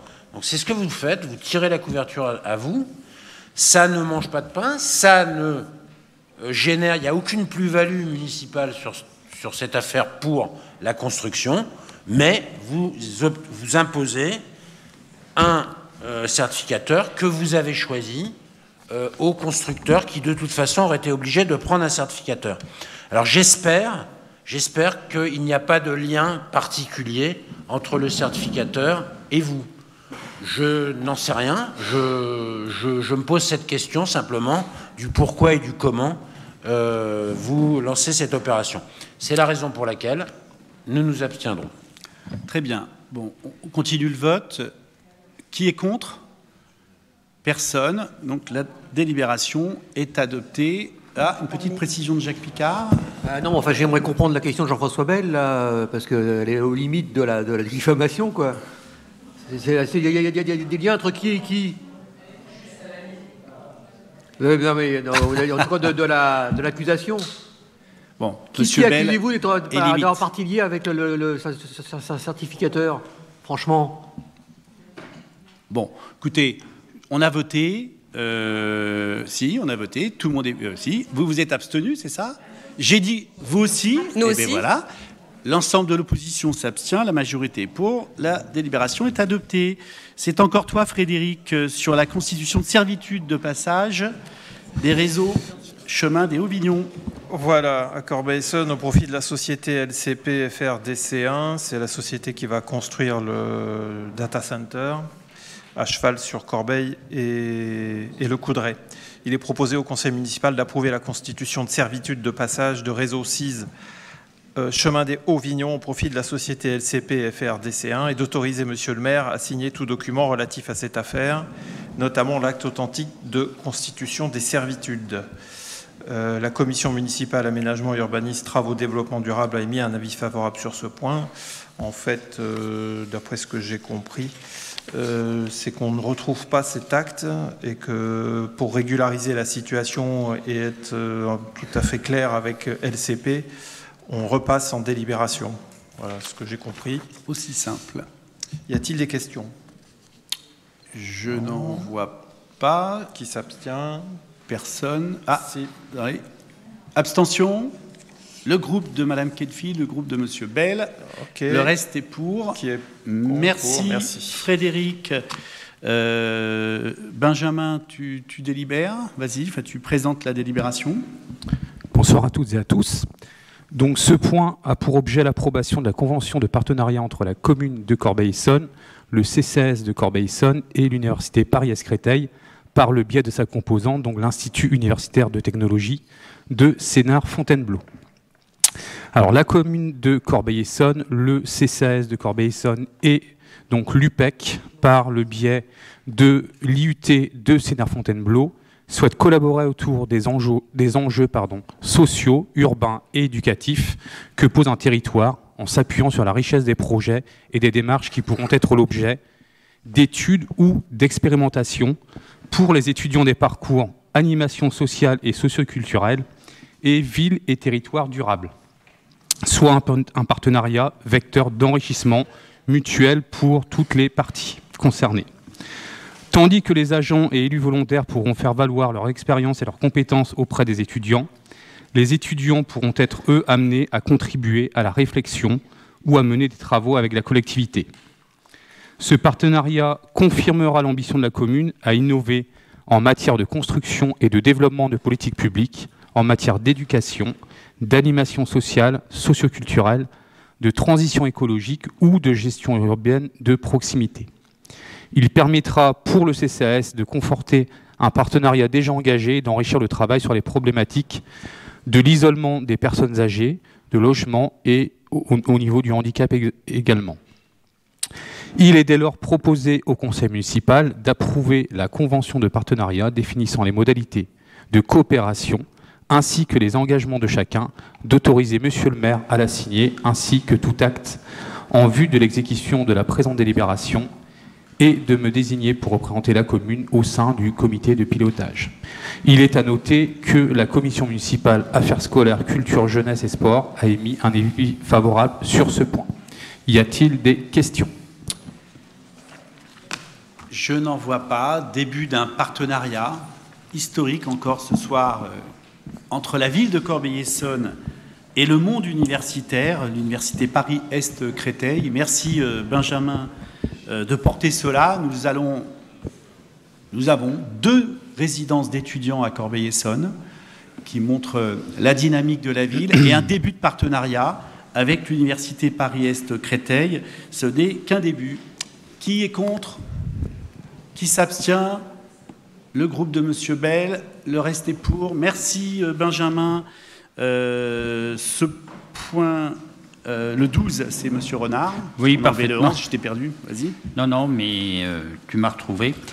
il s'agit donc de la présentation des indicateurs relatifs aux écarts de rémunération et de promotion statutaire entre les femmes et les hommes au titre de l'année 2023 et de l'index de l'égalité professionnelle établi pour les mesurer et les évaluer. C'est donc une nouvelle loi, une loi 2023-623 euh, du 19 juillet 2023 qui renforce les dispositifs de nomination et d'occupation équilibrés aux postes à responsabilité dans la fonction publique et étend les dispositifs de lutte contre les écarts de rémunération entre les femmes et les hommes. Donc désormais, c'est nouveau. La commune doit, désormais publier tous les ans sur son site Internet un index de l'égalité professionnelle regroupant quatre indicateurs relatifs aux écarts de rémunération et de promotion statutaire entre les femmes et les hommes, ainsi que les actions mises en œuvre pour les supprimer. Lorsque les quatre indicateurs peuvent être renseignés, ce qui est le cas pour euh, notre commune, le calcul est réalisé selon un barème allant de 0 à 100. Chaque employeur doit atteindre une cible minimum de 75 points.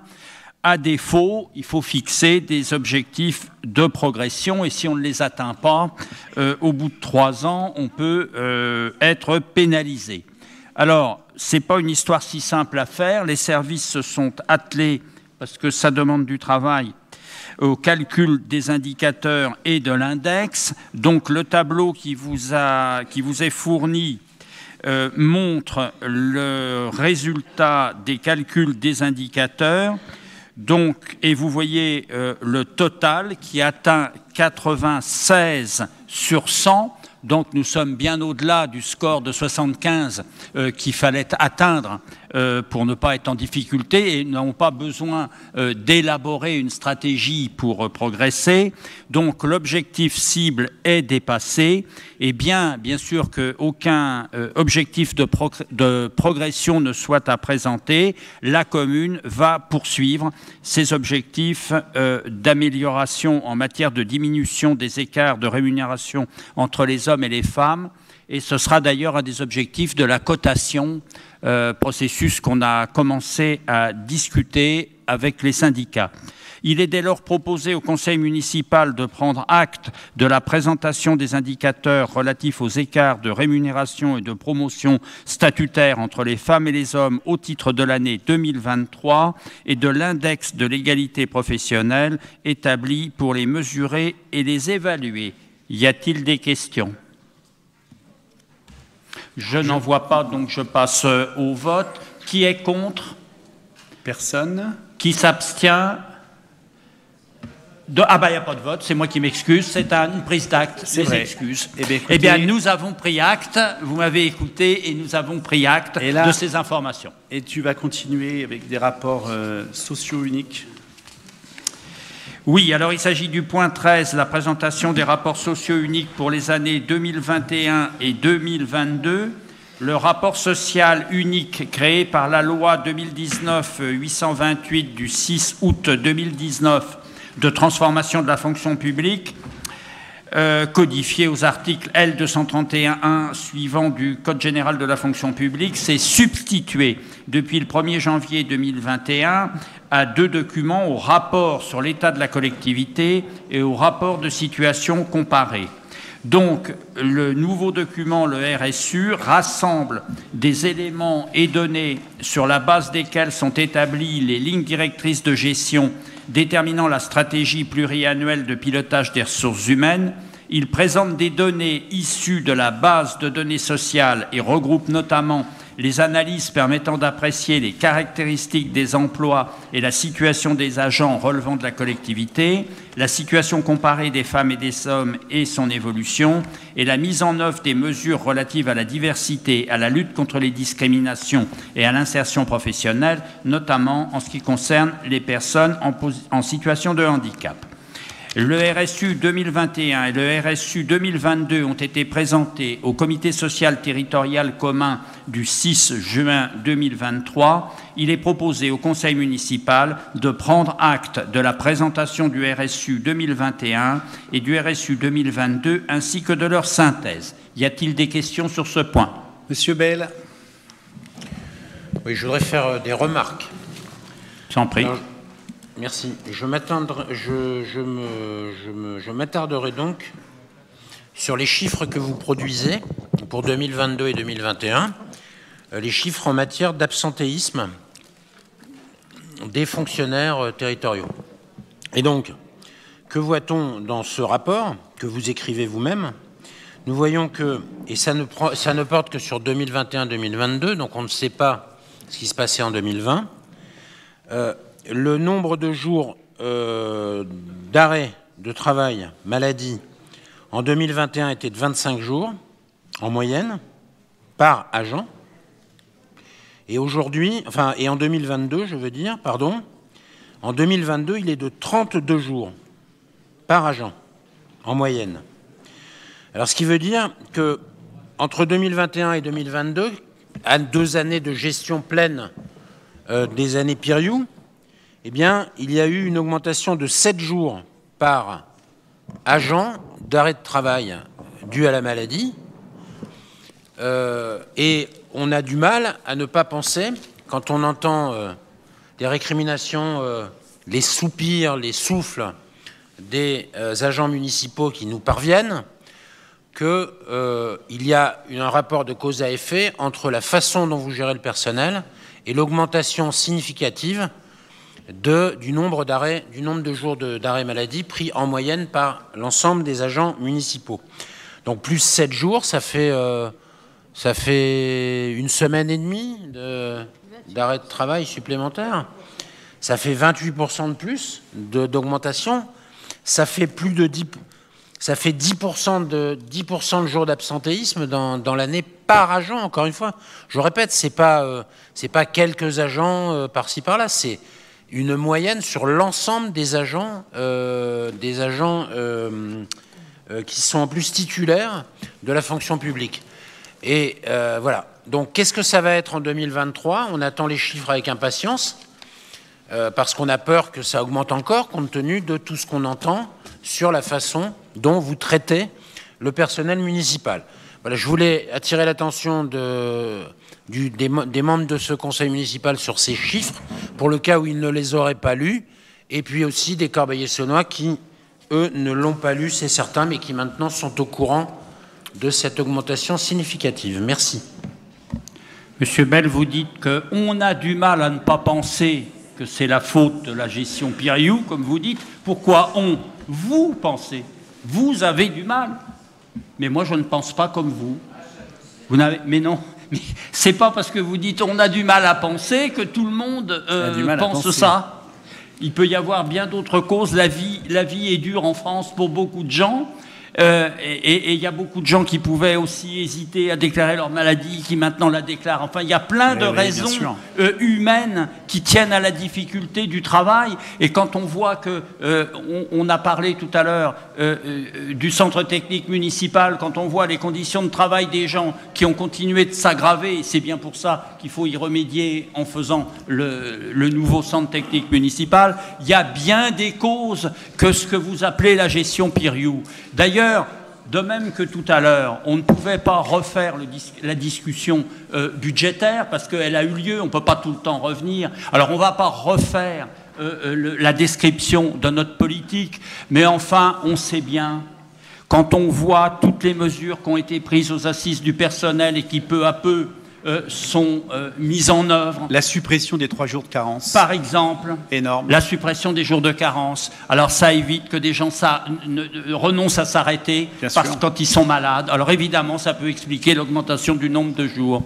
Euh, quand on voit la prime de pouvoir d'achat qui a été faite pour aider les personnels. Exceptionnel. quand on voit la réorganisation souvent des, des services qui, fonctionnait sans cadre, sans structure, et qu'on remet de l'ordre, qu'on essaye de travailler mieux, je pense vraiment euh, que nous n'avons pas une mauvaise gestion du personnel et j'en veux pour preuve, je vous l'ai déjà dit et je ne vais pas développer, mais j'en veux pour preuve le dialogue social apaisé que nous avons avec, les... syndicats. J'avais encore cette semaine une réunion avec les organisations euh, syndicales, avec le directeur général des services, où nous dialoguons, où nous écoutons les suggestions qui nous sont faites. Tout ça se passe. Alors, je ne dis pas qu'on est toujours d'accord, évidemment, mais je dis qu'il y a un dialogue social apaisé qui se passe dans de bonnes conditions.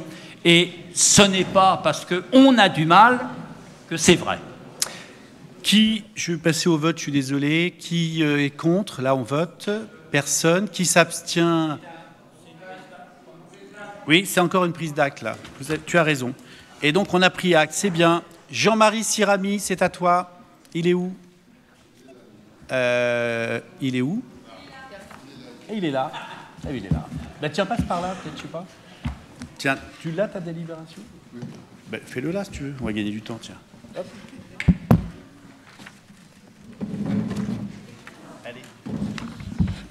Oui, bonsoir. Donc je reprends le, comment dire, euh, le document de Madame Louz qui est absente. Donc note de présentation de Madame Louz. Objet, opération d'acquisition, amélioration de 79 logements en direction des jeunes, situés 23-31 avenue de Shortmer, la Corbeil-Essonne. Octroi de garantie d'emprunt auprès de la Caisse des dépôts et consignations. Convention de réservation de logements en contrepartie d'une garantie d'emprunt.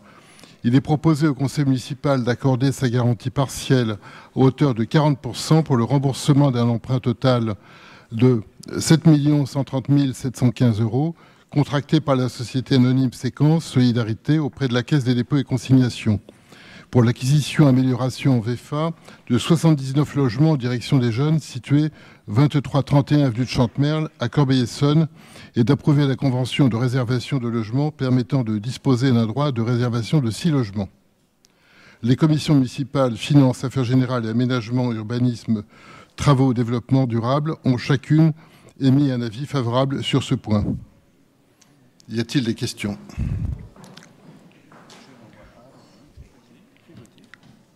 Après, voilà. Donc je propose de passer au vote.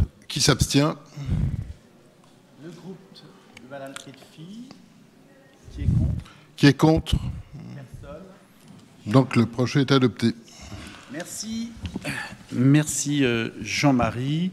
L'occasion de, de vous inviter le, le 16 octobre à l'inauguration euh, euh, de cette, euh, ce beau bâtiment, euh, à la fois résidence euh, d'étudiants, à la fois nouvelle mission locale, en présence du président de l'agglomération, de Madame la préfète. Ce sera un grand moment euh, qui montre aussi le développement de notre ville durable, une friche qui devient un très bel équipement euh, public.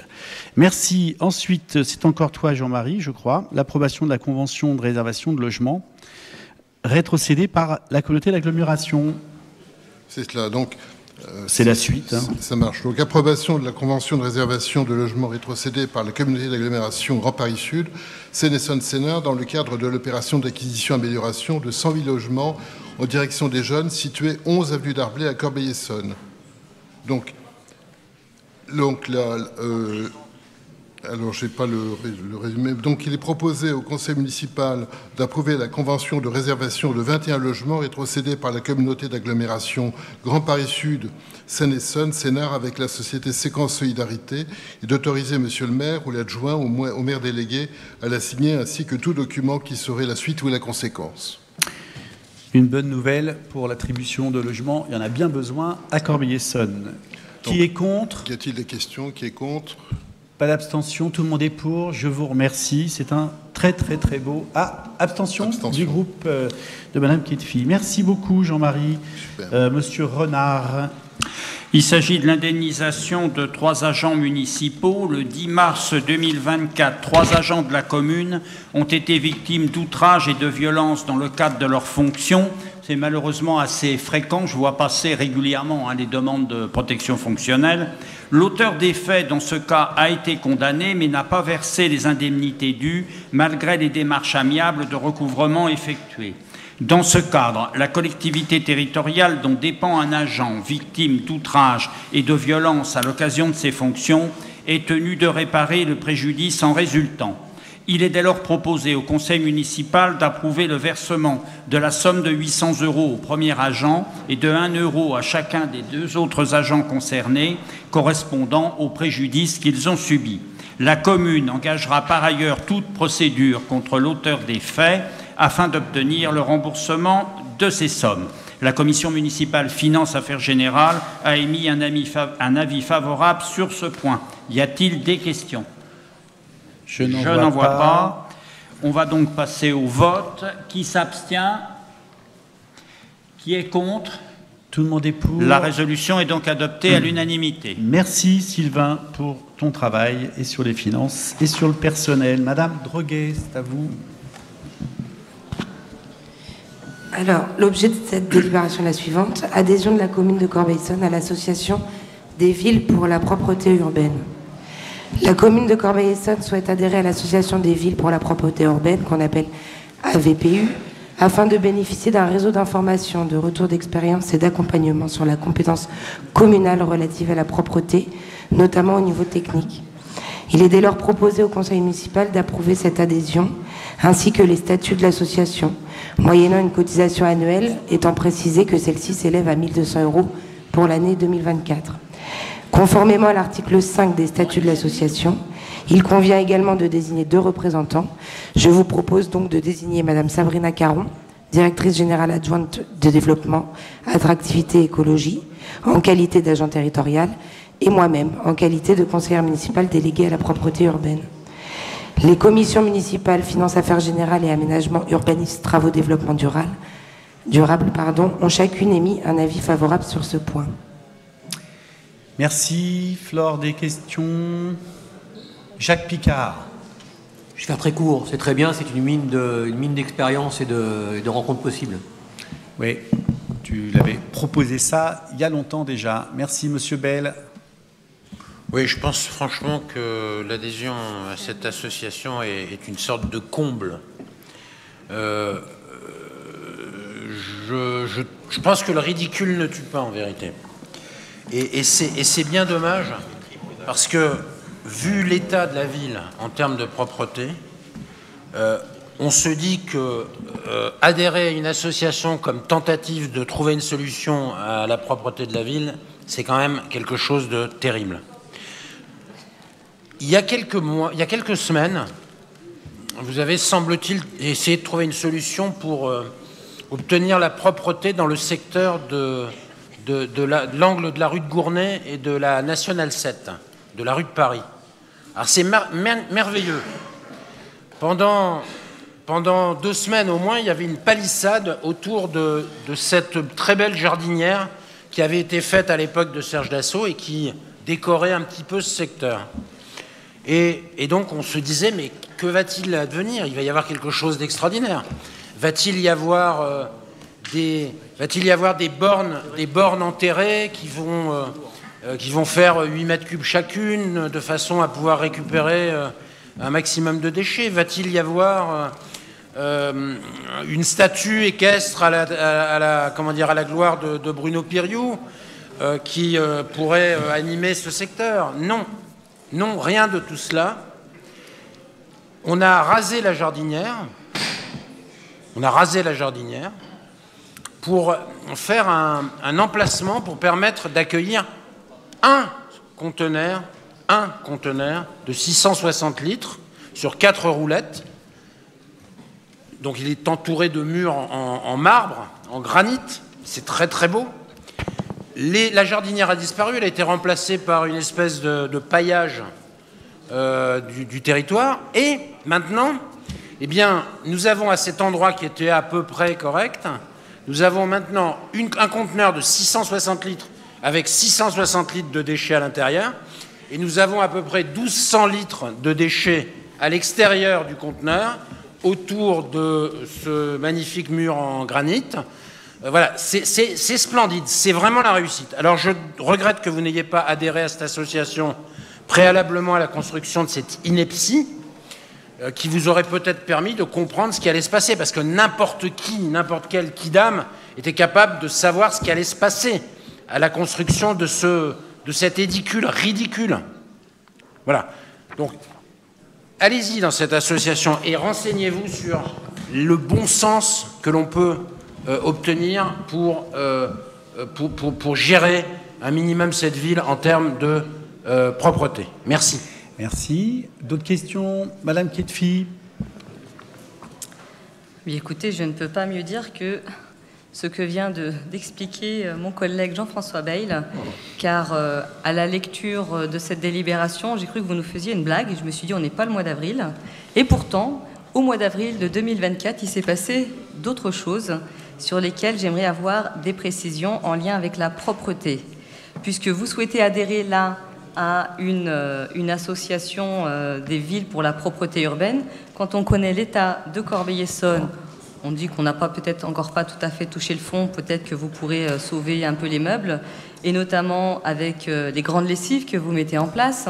J'ai souvenir d'une grande lessive à la rive droite où vous aviez fait même des marquages au sol, des petits marquages au sol pour identifier les endroits où vous deviez euh, nettoyer. Et en fait, euh, ben, il ne s'est rien passé, il s'est rien passé. Puis tout d'un coup, nous étions à la rive droite la semaine dernière et nous avons croisé d'ailleurs pas mal de jeunes qui sont venus vous écouter ce soir au conseil municipal parce que euh, je leur ai dit que c'était quand même intéressant de pouvoir aussi euh, vivre la démocratie sous votre ère pour qu'ils découvrent un petit peu tout ça. Donc, en visitant ce quartier de la rive droite, on a constaté que, eh bien, il n'était pas tout à fait nettoyé, que ce quartier était tout à fait délaissé, que les, les, les bonnes volontés que vous aviez voulu mettre avec vos grandes lessives, eh ben, elles ne s'étaient pas suivies de grand-chose. Et subrepticement, il y a des choses qui sont passées parce qu'on a vu que le 28 septembre, vous deviez être à la rive droite pour échanger avec eux et tout d'un coup, eh bien, la rive droite a eu un petit peu plus d'intérêt et il y a des choses qui ont un petit peu avancé. Bon, eh bien, c'est dommage que ça se passe comme ça parce que sur ce mois d'avril 2024, il y a eu notamment un passage en commission d'appel d'offres. Ce passage en commission d'appel d'offres était C'est la rive droite, c'est normal. C'est le représentant de la rive droite.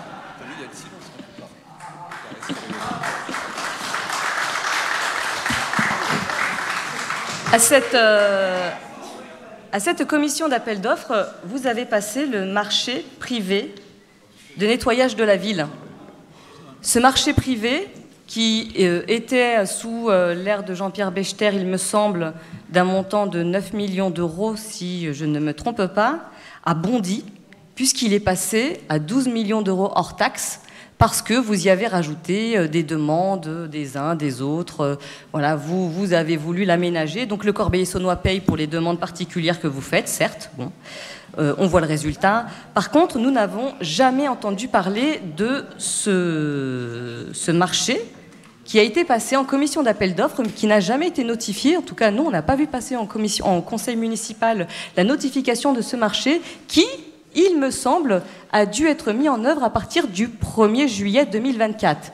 Donc nous sommes le 25 septembre 2024 et je voudrais savoir ce qu'il en est. Est-ce que vous pourriez répondre à la question, parce qu'on sait que vous avez l'habitude de ne pas répondre aux questions gênantes de l'opposition et que vous avez un petit peu de mal avec ça, mais je pense que pour 12 millions d'euros, les Corbeillers saunois ont le droit de savoir qu'en est-il de ce marché A-t-il été notifié Si oui, quand Merci.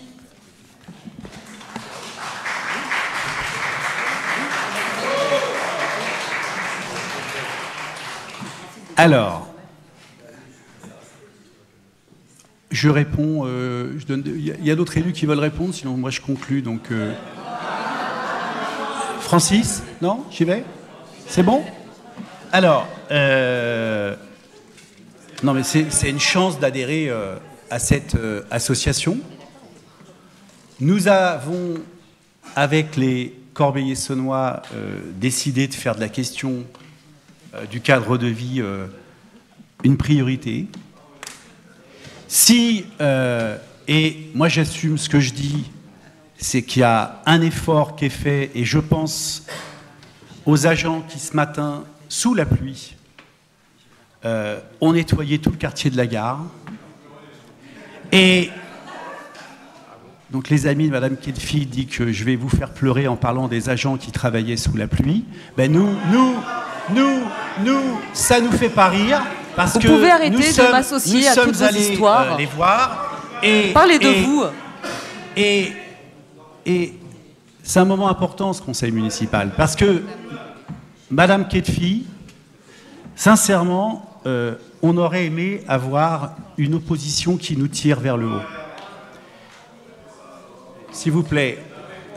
Et on a une opposition qui ne fait que critiquer, pas le début d'une idée, et avec vos supporters, nous, ça nous arrange parce que les Corbeillers saunois n'ont pas envie de revenir à l'ancien système qui a abîmé cette ville pendant 25 ans. Et donc, je pense que, Madame Ketfi, vous méritez mieux, vous méritez mieux, et la propreté euh, dans toutes les grandes villes de France. Dans, oui, non, non, s'il vous plaît, vous vous me permettez pas, vous vous permettez pas, vous vous vous permettez pas, s'il vous plaît, s'il vous plaît, monsieur, s'il vous plaît, vous vous permettez pas, monsieur ici, vous êtes, vous êtes venu ce soir, vous êtes venu perturber avec Madame Ketfield, conseil municipal, vous n'y arriverez pas. Vous n'y arriverez pas. Je réponds donc. Ce ne aux sont que les habitants de la ville, Je- monsieur le maire. Je réponds aux questions. Ce sont des habitants Vous de la ville qui expriment leur colère Vous n'arriverez pas de à voir nous- leur non, quartier dans l'état dans lequel vous le laissez. Madame Ketfi. Voilà où on en est, Vous monsieur êtes le maire. L'élu du C'est la rive droite. Madame Ketfi. Et vous bientôt, plaît. vous aurez Je réponds. mon conseil, C'est un Tarteret, important, le la centre-ville.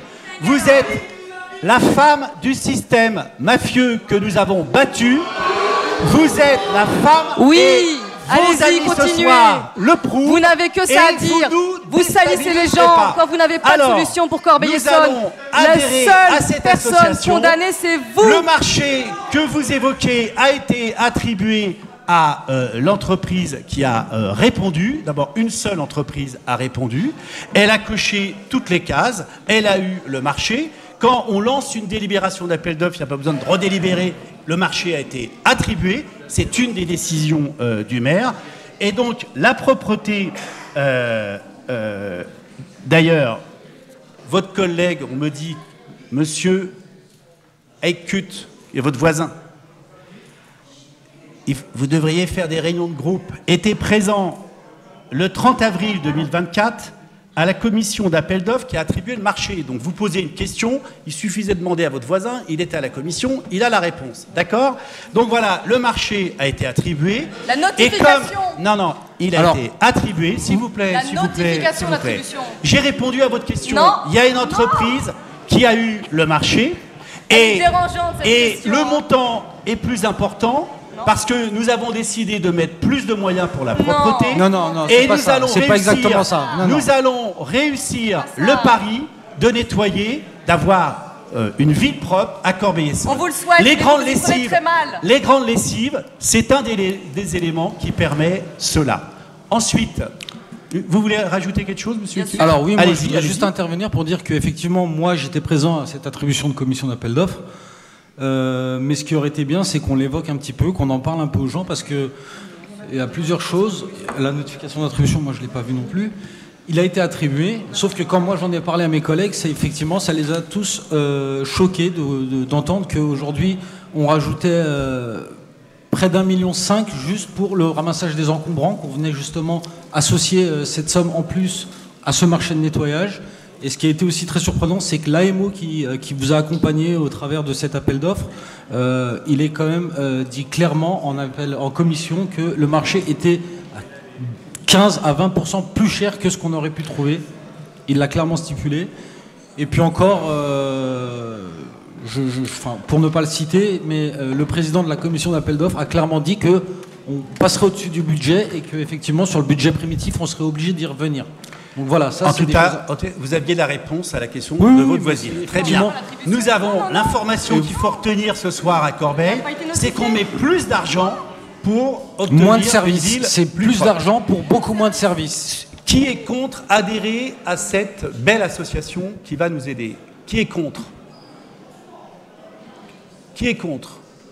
Le groupe de Monsieur Bell, le groupe de voilà. Vous voulez une ville plus propre, mais vous ne voulez pas qu'on soit dans un réseau des villes propres. Qui est pour le restant La majorité. Merci Flore. Nous allons pouvoir travailler avec de nombreuses communes. Alors attendez, ils ne savent pas. Mettez-vous d'accord, parce que c'est important. Qui est pour la majorité et le groupe de Madame Pietfi, quand on concerte, ça fait changer le vote. Merci. Vous êtes toujours Je suis contre le gaspillage de très 1200 bien. euros. Super, merci. Euh, les dernières délibérations arrivent. Monsieur Jourdain. Oui, merci. Euh, je, présente cette euh, délibération au nom de Madame Louz et j'en profite pour avoir une pensée pour elle et lui souhaiter un bon rétablissement. Il s'agit du versement d'une subvention exceptionnelle au profit de l'association Les Riverains de Robinson. Cette association ayant pour objet de préserver et améliorer le cadre de vie des habitants du quartier de Robinson et de ses alentours, ainsi que de renforcer les liens sociaux par toutes les actions et activités favorisant le mieux vivre ensemble, elle a sollicité auprès de la commune de Corbeil-Essonnes une subvention exceptionnelle. Elle avait obtenu une subvention de fonctionnement de 1300 euros. Et là, il est proposé de soutenir les actions de cette euh, association en approuvant le versement à l'association d'une subvention exceptionnelle de 1000 euros supplémentaires au titre de l'année 2024.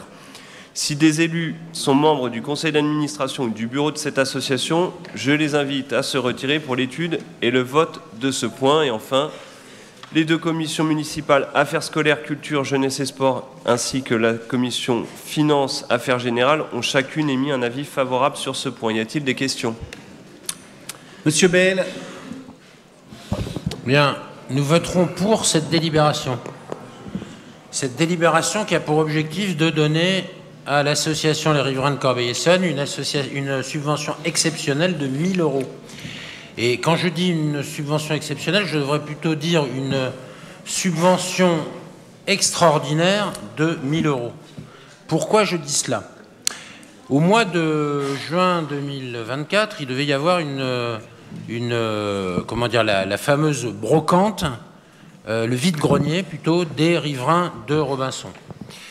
À l'occasion de cette euh, préparation et à l'occasion euh, donc les, les véhicules des riverains de la rue de Robinson ont été déplacés par les riverains et placés à un endroit où ils se positionnent chaque année pour euh, comment dire, préparer cette, cette fête.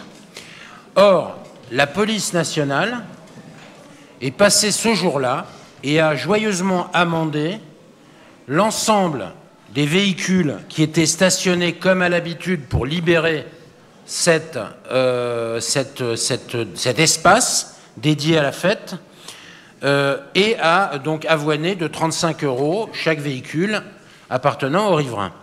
Si vous faites le calcul, les 1000 euros correspondent donc à l'indemnisation à hauteur de 35 euros par véhicule de riverains euh, interpellé et, donc cette subvention va vous participer à la réparation d'une chose qui est importante, c'est le fait que vous ne communiquez pas avec la police nationale en l'occurrence, contrairement à tout ce que vous nous expliquez, à vos liens exceptionnels du préfet au euh, gardien de la paix avec la police nationale.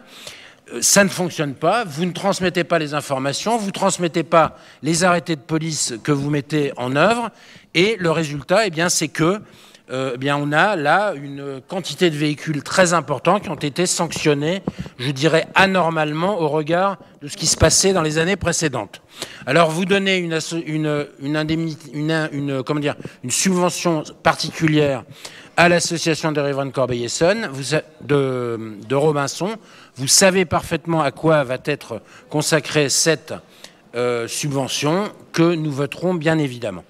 J'attire également votre attention puisque ce problème de transmission de l'information, notamment aux riverains, par exemple, dans le cadre des grandes lessives, où à chaque grande lessive, en dehors du fait que euh, vous faites euh, beaucoup de propagande autour de ces grandes lessives, mais cette propagande, il faudrait la faire préalablement à la grande lessive, pas a posteriori.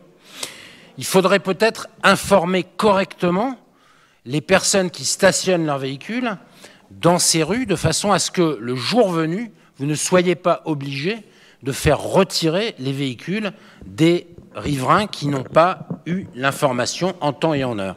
Et ce n'est pas en distribuant cette information la veille au soir des grandes lessives en l'occurrence, ou des grandes braderies quand c'est des braderies, euh, que euh, la population euh, locale et les riverains seront en mesure à 100% ou à 99% de d'obéir aux arrêtés que vous édictez. Je vous informe, je vous invite plutôt à euh, communiquer plus amont avec ces riverains de façon à avoir moins de problèmes et bien sûr dans l'avenir à ne pas avoir à indemniser euh, les euh, riverains en question des erreurs que vous avez commises. Merci. Ok, d'autres questions? Bah, écoutez, vous avez tout dit, euh, Monsieur Bell. Euh, à la différence près, c'est que ce n'est pas la police nationale. Et donc, je vous confirme que nous travaillons très bien et avec la police nationale, vraiment. Sur tous les sujets, c'était la police municipale. Vous voyez? Non, non, non. Je vous assure. Et non, non, non, je vous assure. Et donc, effectivement, ben, euh, quand là, il y a euh, euh, une erreur, parce que c'était compliqué de gérer cet événement, bah, on le répare avec cette subvention. Pierrick, tu voulais donner une information Je voulais juste donner l'information que cette association organise un vide-grenier le 29 septembre, rue de Robinson. Voilà, et il n'y aura aucune verbalisation. Merci Sylvain. Non, simplement pour dire que je vais voter cette subvention parce que l'association des de Robinson est une, une association intéressante qui joue un rôle important dans son quartier. Euh, le reste, ça ne me concerne absolument pas. Il est évidemment pas question de voter une subvention pour rembourser des amendes, c'est illégal. C'est pas fait. pour ça que je vais voter, c'est pour soutenir cette association qui fait un travail intéressant dans le quartier. Exactement, exactement. Et donc tout le monde est pour? Personne n'est contre, pas d'abstention? Comme quoi, nous avons raison de porter cette délibération. Dernière euh, délibération, Dernier Monsieur point, Jourdain. le versement d'une subvention au profit de l'association Les Spartiates Rugby à 13 et l'approbation du contrat d'objectif, puisqu'il s'agit d'une subvention de fonctionnement d'un montant de 25 000 euros, donc qui dépasse les 23 000 euros. On a donc un contrat d'objectif qui, qui va avec. Cette euh, subvention de fonctionnement n'avait pas pu être votée au moment où ça a été fait en conseil municipal. Et on, a donc euh, continué le travail avec l'association en question, qui œuvre activement au niveau de la ville de Corbeil-Essonnes et au-delà.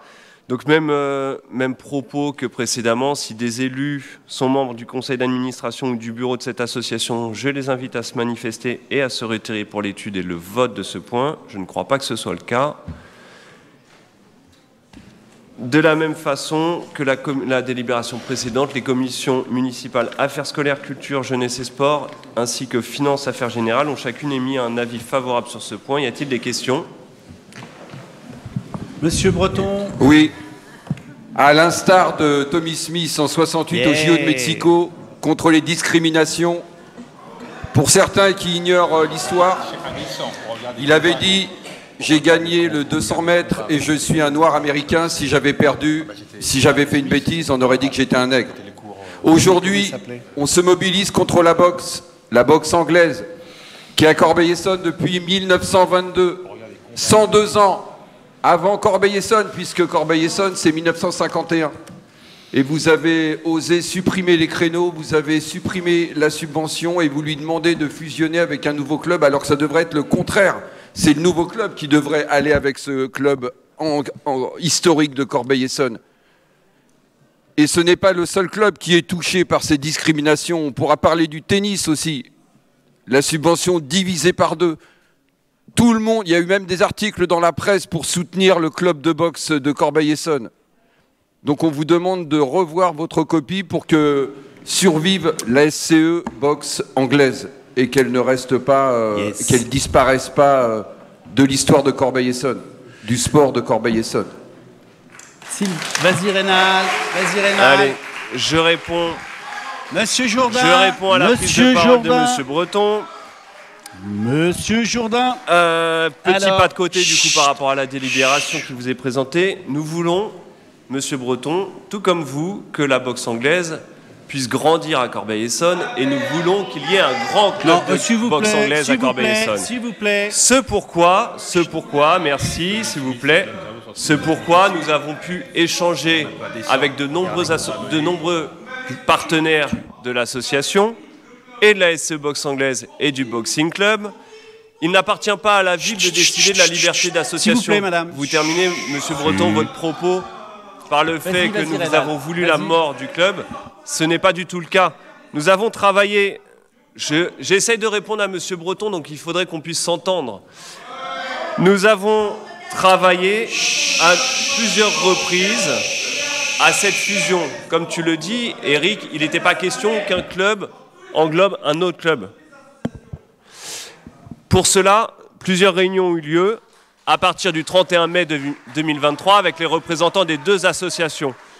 Ça nous a amen- amené à une rentrée 2023 avec des avancées au niveau d'un travail partagé. C'est le sens que nous voulons porter au niveau de la politique sportive et au niveau de la politique de toute l'équipe municipale au-delà du sport.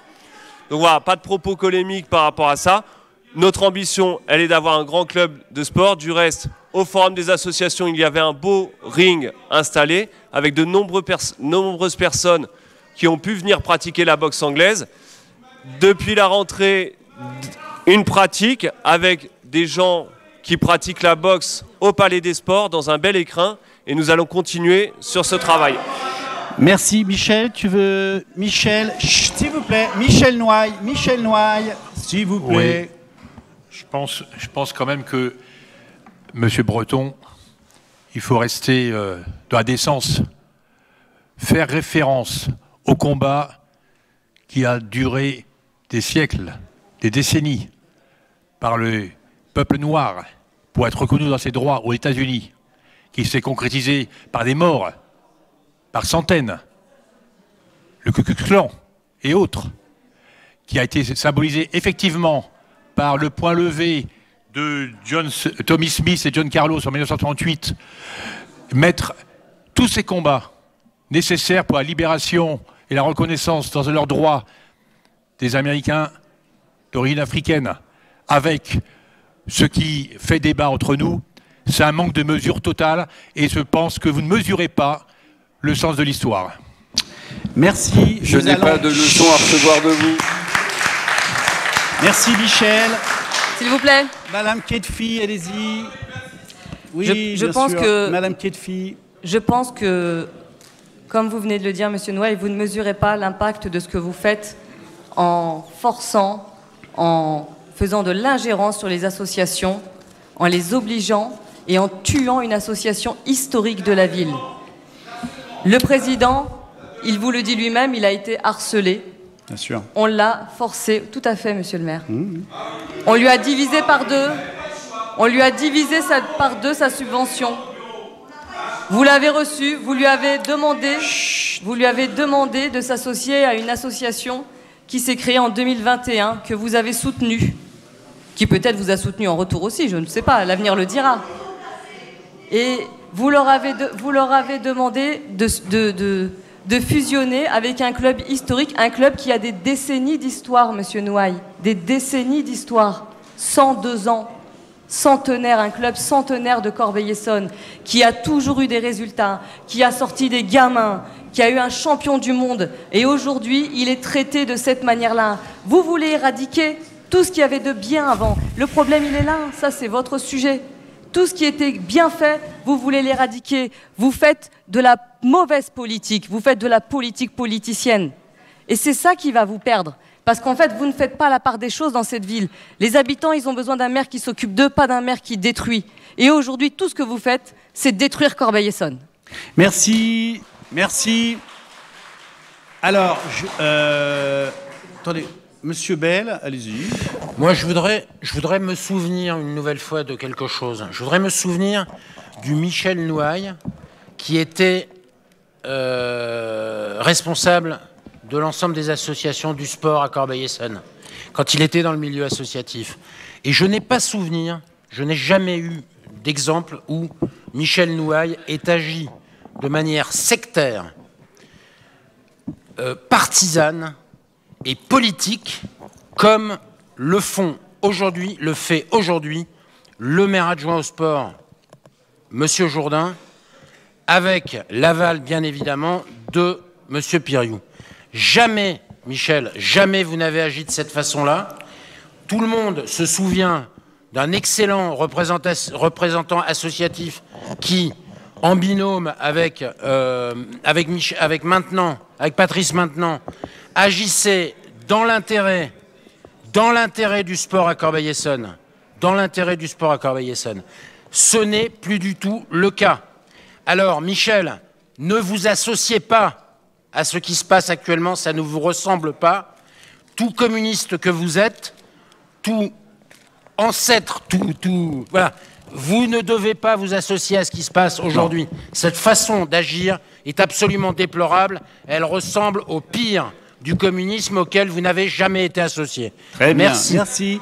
Je- C'est bon? Écoutez, on va passer au, au vote. Euh, Corbeil-Essonne va avoir un très grand club de boxe. Nous en sommes très très heureux. Leurs prestations, au forum associatif euh, l'ont prouvé. Nous sommes très heureux de créer les conditions d'avoir un grand club de boxe à Corbeil-Essonne et de permettre à des centaines de personnes d'y adhérer. Qui, là, il s'agit de verser une subvention pour les Spartiates. Qui est contre la subvention pour les Spartiates? Qui s'abstient pour la subvention pour les Spartiates? Tout le monde est pour. Je vous remercie. Je passe à deux questions. Euh, première question. Corbeil-Essonne au cœur. Qui lit la question? Je la lis, vous, la- vous lisez. Qui lit la question? Je la lis. Conseil de quartier, je lis la question. Pardon, pardon. Ah bah alors allez-y. De quelle question il s'agit? Conseil de quartier. Ah oui, c'est à nous. Alors, conseil de quartier. S'il vous plaît, monsieur. Allez-y, madame Ketfi. Dans votre éditorial du dernier numéro de septembre du magazine mensuel de notre ville, vous annoncez 12 quartiers, 12 rencontres publiques vont vous être proposées d'ici l'automne. Pouvez-vous nous indiquer où et quand ont-elles eu lieu puisque l'automne a commencé il y a quatre jours? De même, considérant votre réponse à notre question orale sur les conseils de quartier du 5 juin 2024, nous ne sommes pas dans l'illégalité pour ne pas avoir créé les conseils de quartier puisque nous ne sommes pas une ville de 80 000 habitants. Pouvez-vous nous communiquer la délibération par laquelle vous avez créé 12 quartiers? En effet, la dernière création de quartier datant du 12 septembre 2016 n'en comportait que 10 quartiers. Réponse, j'ai le plaisir de vous informer que la première réunion publique aura donc bien lieu à 10h, samedi, sur le quartier de la rive droite. Il y en aura 11 ou 12 euh, suivantes qui feront l'objet d'une communication euh, chacune. On est en train de fixer les dates avec euh, les élus et une communication donc sur les panneaux d'information et dans les quartiers pour toutes ces réunions. Il s'agit de rencontres publiques plus assemblée de quartier, plus que conseil de quartier. Toutes les appellations d'ailleurs sont possibles en la matière. Nous lançons à travers ces réunions un processus démocratique. Nous voulons construire euh, avec les habitants ce que vont devenir ces assemblées euh, de, quartier. Et on va donc effectivement, à l'occasion de ces réunions, dans les quartiers qui le souhaitent, reconnus notamment là ce sera obligatoire, ceux qui seront en politique de la ville, euh, instituer des assemblées de quartier. Et à cette occasion, quand nous aurons travaillé avec les habitants, nous prendrons la délibération. Nous lançons un processus pour aller vers la création de ces assemblées de quartier. Deuxième question. La deuxième question concerne vos obligations légales. Monsieur le maire, vous continuez à ne pas respecter la loi. Tous les habitants ont pu le constater. D'ailleurs, dans ce conseil municipal, j'ai dû m'absenter, mais ils ont vu que lorsque vous nous avez empêché de répondre, de, de- S'il de- vous plaît, madame, de la poser des question, questions, tatati tatata, vous avez question, quand même réalisé ce que nous vous demandions dans les questions orales Alors, que vous ne nous avez question. pas laissé d'en poser. Et donc, puisqu'on dirige la ville avec les questions orales et les réseaux sociaux, on continue. Ainsi, concernant Nous, la publicité des délibérations du Conseil, vous ne respectez pas les dispositions de l'article L2121-25 du Code général des collectivités territoriales. De même, vous ne nous avez pas communiqué le rapport du délégataire au délégant de la société Géro et Fils pour les années 2019, 2020, 2021, 2022 et 2023 ce qui constitue une clause d'annulation de la DSP. Pourriez-vous nous communiquer ces rapports ainsi que le rapport de l'ancien chargé de mission sur l'analyse de cette DSP et l'étude du passage en régie? Enfin, nous n'avons pas la même lecture sur la présentation en conseil municipal des rapports sur le prix et la qualité des services publics d'eau potable et d'assainissement en nous renvoyant à l'agglomération Grand Paris Sud Seine-et-Sénard et au SIARS. Ainsi, nous réitérons notre demande. Pourriez-vous nous communiquer les rapports pour les années 2019, 2020, 2021 et 2022 Celui de l'année 2023 devant nous être communiqué avant le 31 décembre 2024. Et nous demandons bien sûr l'examen au conseil municipal de ces rapports. Ceci est particulièrement important pour l'eau potable car nous avons appris que GPS envisageait de se débarrasser de l'usine de production d'eau potable de Corbeil-Essonne, ce qui serait une atteinte inqualifiable à la sécurité de notre approvisionnement en eau potable. Alors, il y a trois questions en une qui n'ont rien à voir les unes euh, avec les autres, mais comme vous avez le droit à six, je vais répondre aux trois. Euh, Rapidement, euh, vous affirmez que je ne respecte pas la loi. Là, c'est la question sur la publicité des délibérations. Mais vous n'avez pas bien vérifié ce que dit la loi. Permettez-moi de vous en faire rapidement lecture. Vous parlez de l'article L. 2121-25 du Code général des collectivités territoriales, dans sa version du 1er juillet 2022, qui dit Dans un délai d'une semaine, la liste des délibérations examinées par le conseil municipal est affichée à la mairie et mise en ligne sur le site internet de la commune lorsqu'il existe. Permettez-moi d'apporter quelques précisions. La liste des délibérations du conseil municipal, comprenant l'ensemble des délibérations examinées en séance, ainsi que le sens des votes, est affichée sur les panneaux prévus à cet effet au nouveau centre administratif 28 avenue de Chantemerle. Cette liste est également publiée sur le site internet de la ville. Voilà, il y a l'adresse que, que vous avez. L'ensemble des agents et des élus municipaux la reçoivent également par mail. Enfin, le délai d'affichage d'une semaine imposé par les textes est largement respecté puisque la liste des libérations est affichée et publiée généralement par le service, et je les en remercie, des, affaires juridiques et du conseil municipal dès le lendemain de la séance de euh, l'Assemblée délibérante. Voilà, donc je respecte euh, la loi. Il faut donc euh, que vous puissiez vérifier les trois sources de publication préalablement. S'agissant de la délégation de services publics, des marchés d'approvisionnement. Vous indiquez la non-communication du rapport du délégataire euh, qui constitue une clause d'annulation de la DSP. Euh, vous ne devriez pas être aussi affirmative. En effet, la non-présentation de ces rapports n'a jamais constitué un quelconque motif légal, réglementaire ou jurisprudentiel d'annulation d'un contrat de délégation de service public. La commune attend du délégataire de compléter les rapports transmis comme je vous l'avais déjà précisé. Ils seront ensuite proposés à la CCSPL ainsi qu'au conseil municipal. On aura donc l'occasion de les avoir et d'en discuter. Vous demandez également le rapport portant l'analyse de cette DSP et l'étude de passage en régie. Je vous informe que nous sommes actuellement en négociation sur différents aspects contractuels et financiers sur cette DSP pour lesquelles nous formulons des réserves et des désaccords. Nous sommes en négociation avec le délégataire. Nous reviendrons vers vous au terme de cette négociation et on transmettra tous les rapports correspondants. Enfin, vous indiquez ne pas avoir la même lecture sur la présentation au Conseil municipal des rapports sur le prix et la qualité des services publics d'eau potable et d'assainissement. Ce n'est pas dans ma réponse, mais je pense qu'on aura l'occasion de faire venir ou revenir Philippe Rio, M. Bortoli, qui portent euh, ce travail au sein de, l'agglomération. Ça serait bien qu'ils viennent nous refaire un point sur cette question essentielle euh, de l'eau. Euh, je précise donc l'article de loi euh, sur euh, cette question. Le maire présente au conseil municipal ou le président de l'établissement public de coopération intercommunale présente à son assemblée délibérante un rapport annuel sur le prix et la qualité du service public d'eau potable destiné notamment à l'information des usagers. Les rapports sont donc en application du texte légal présenté devant la CCSPL et l'assemblée délibérante de la communauté d'agglomération et non devant le conseil municipal de Corbeil. C'est donc et devant l'aglo, ce qui est fait, et euh, au CIARS. En réponse à votre demande de communication concernant les rapports 2019, 20, 21, 22, nous vous informons que ces documents sont disponibles et vous seront envoyés par mail pour information. Il n'y a aucun problème. Le rapport de l'année 2023 vous sera euh, communiqué des réceptions.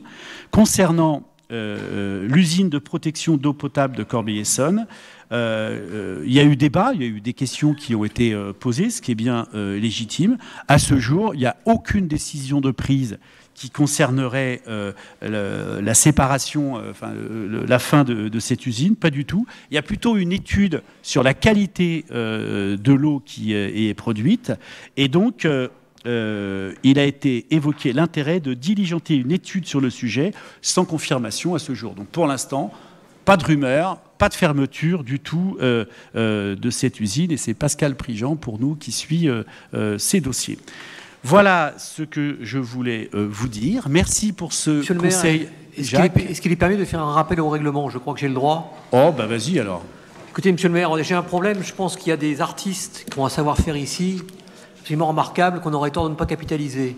Je veux dire par là que je pense qu'on pourrait écrire un guide, qu'on pourrait appeler le guide de la méthode Ketfi Breton, oui. au conseil municipal. Tout à fait. C'est quoi cette méthode? Parce qu'on peut la décrypter.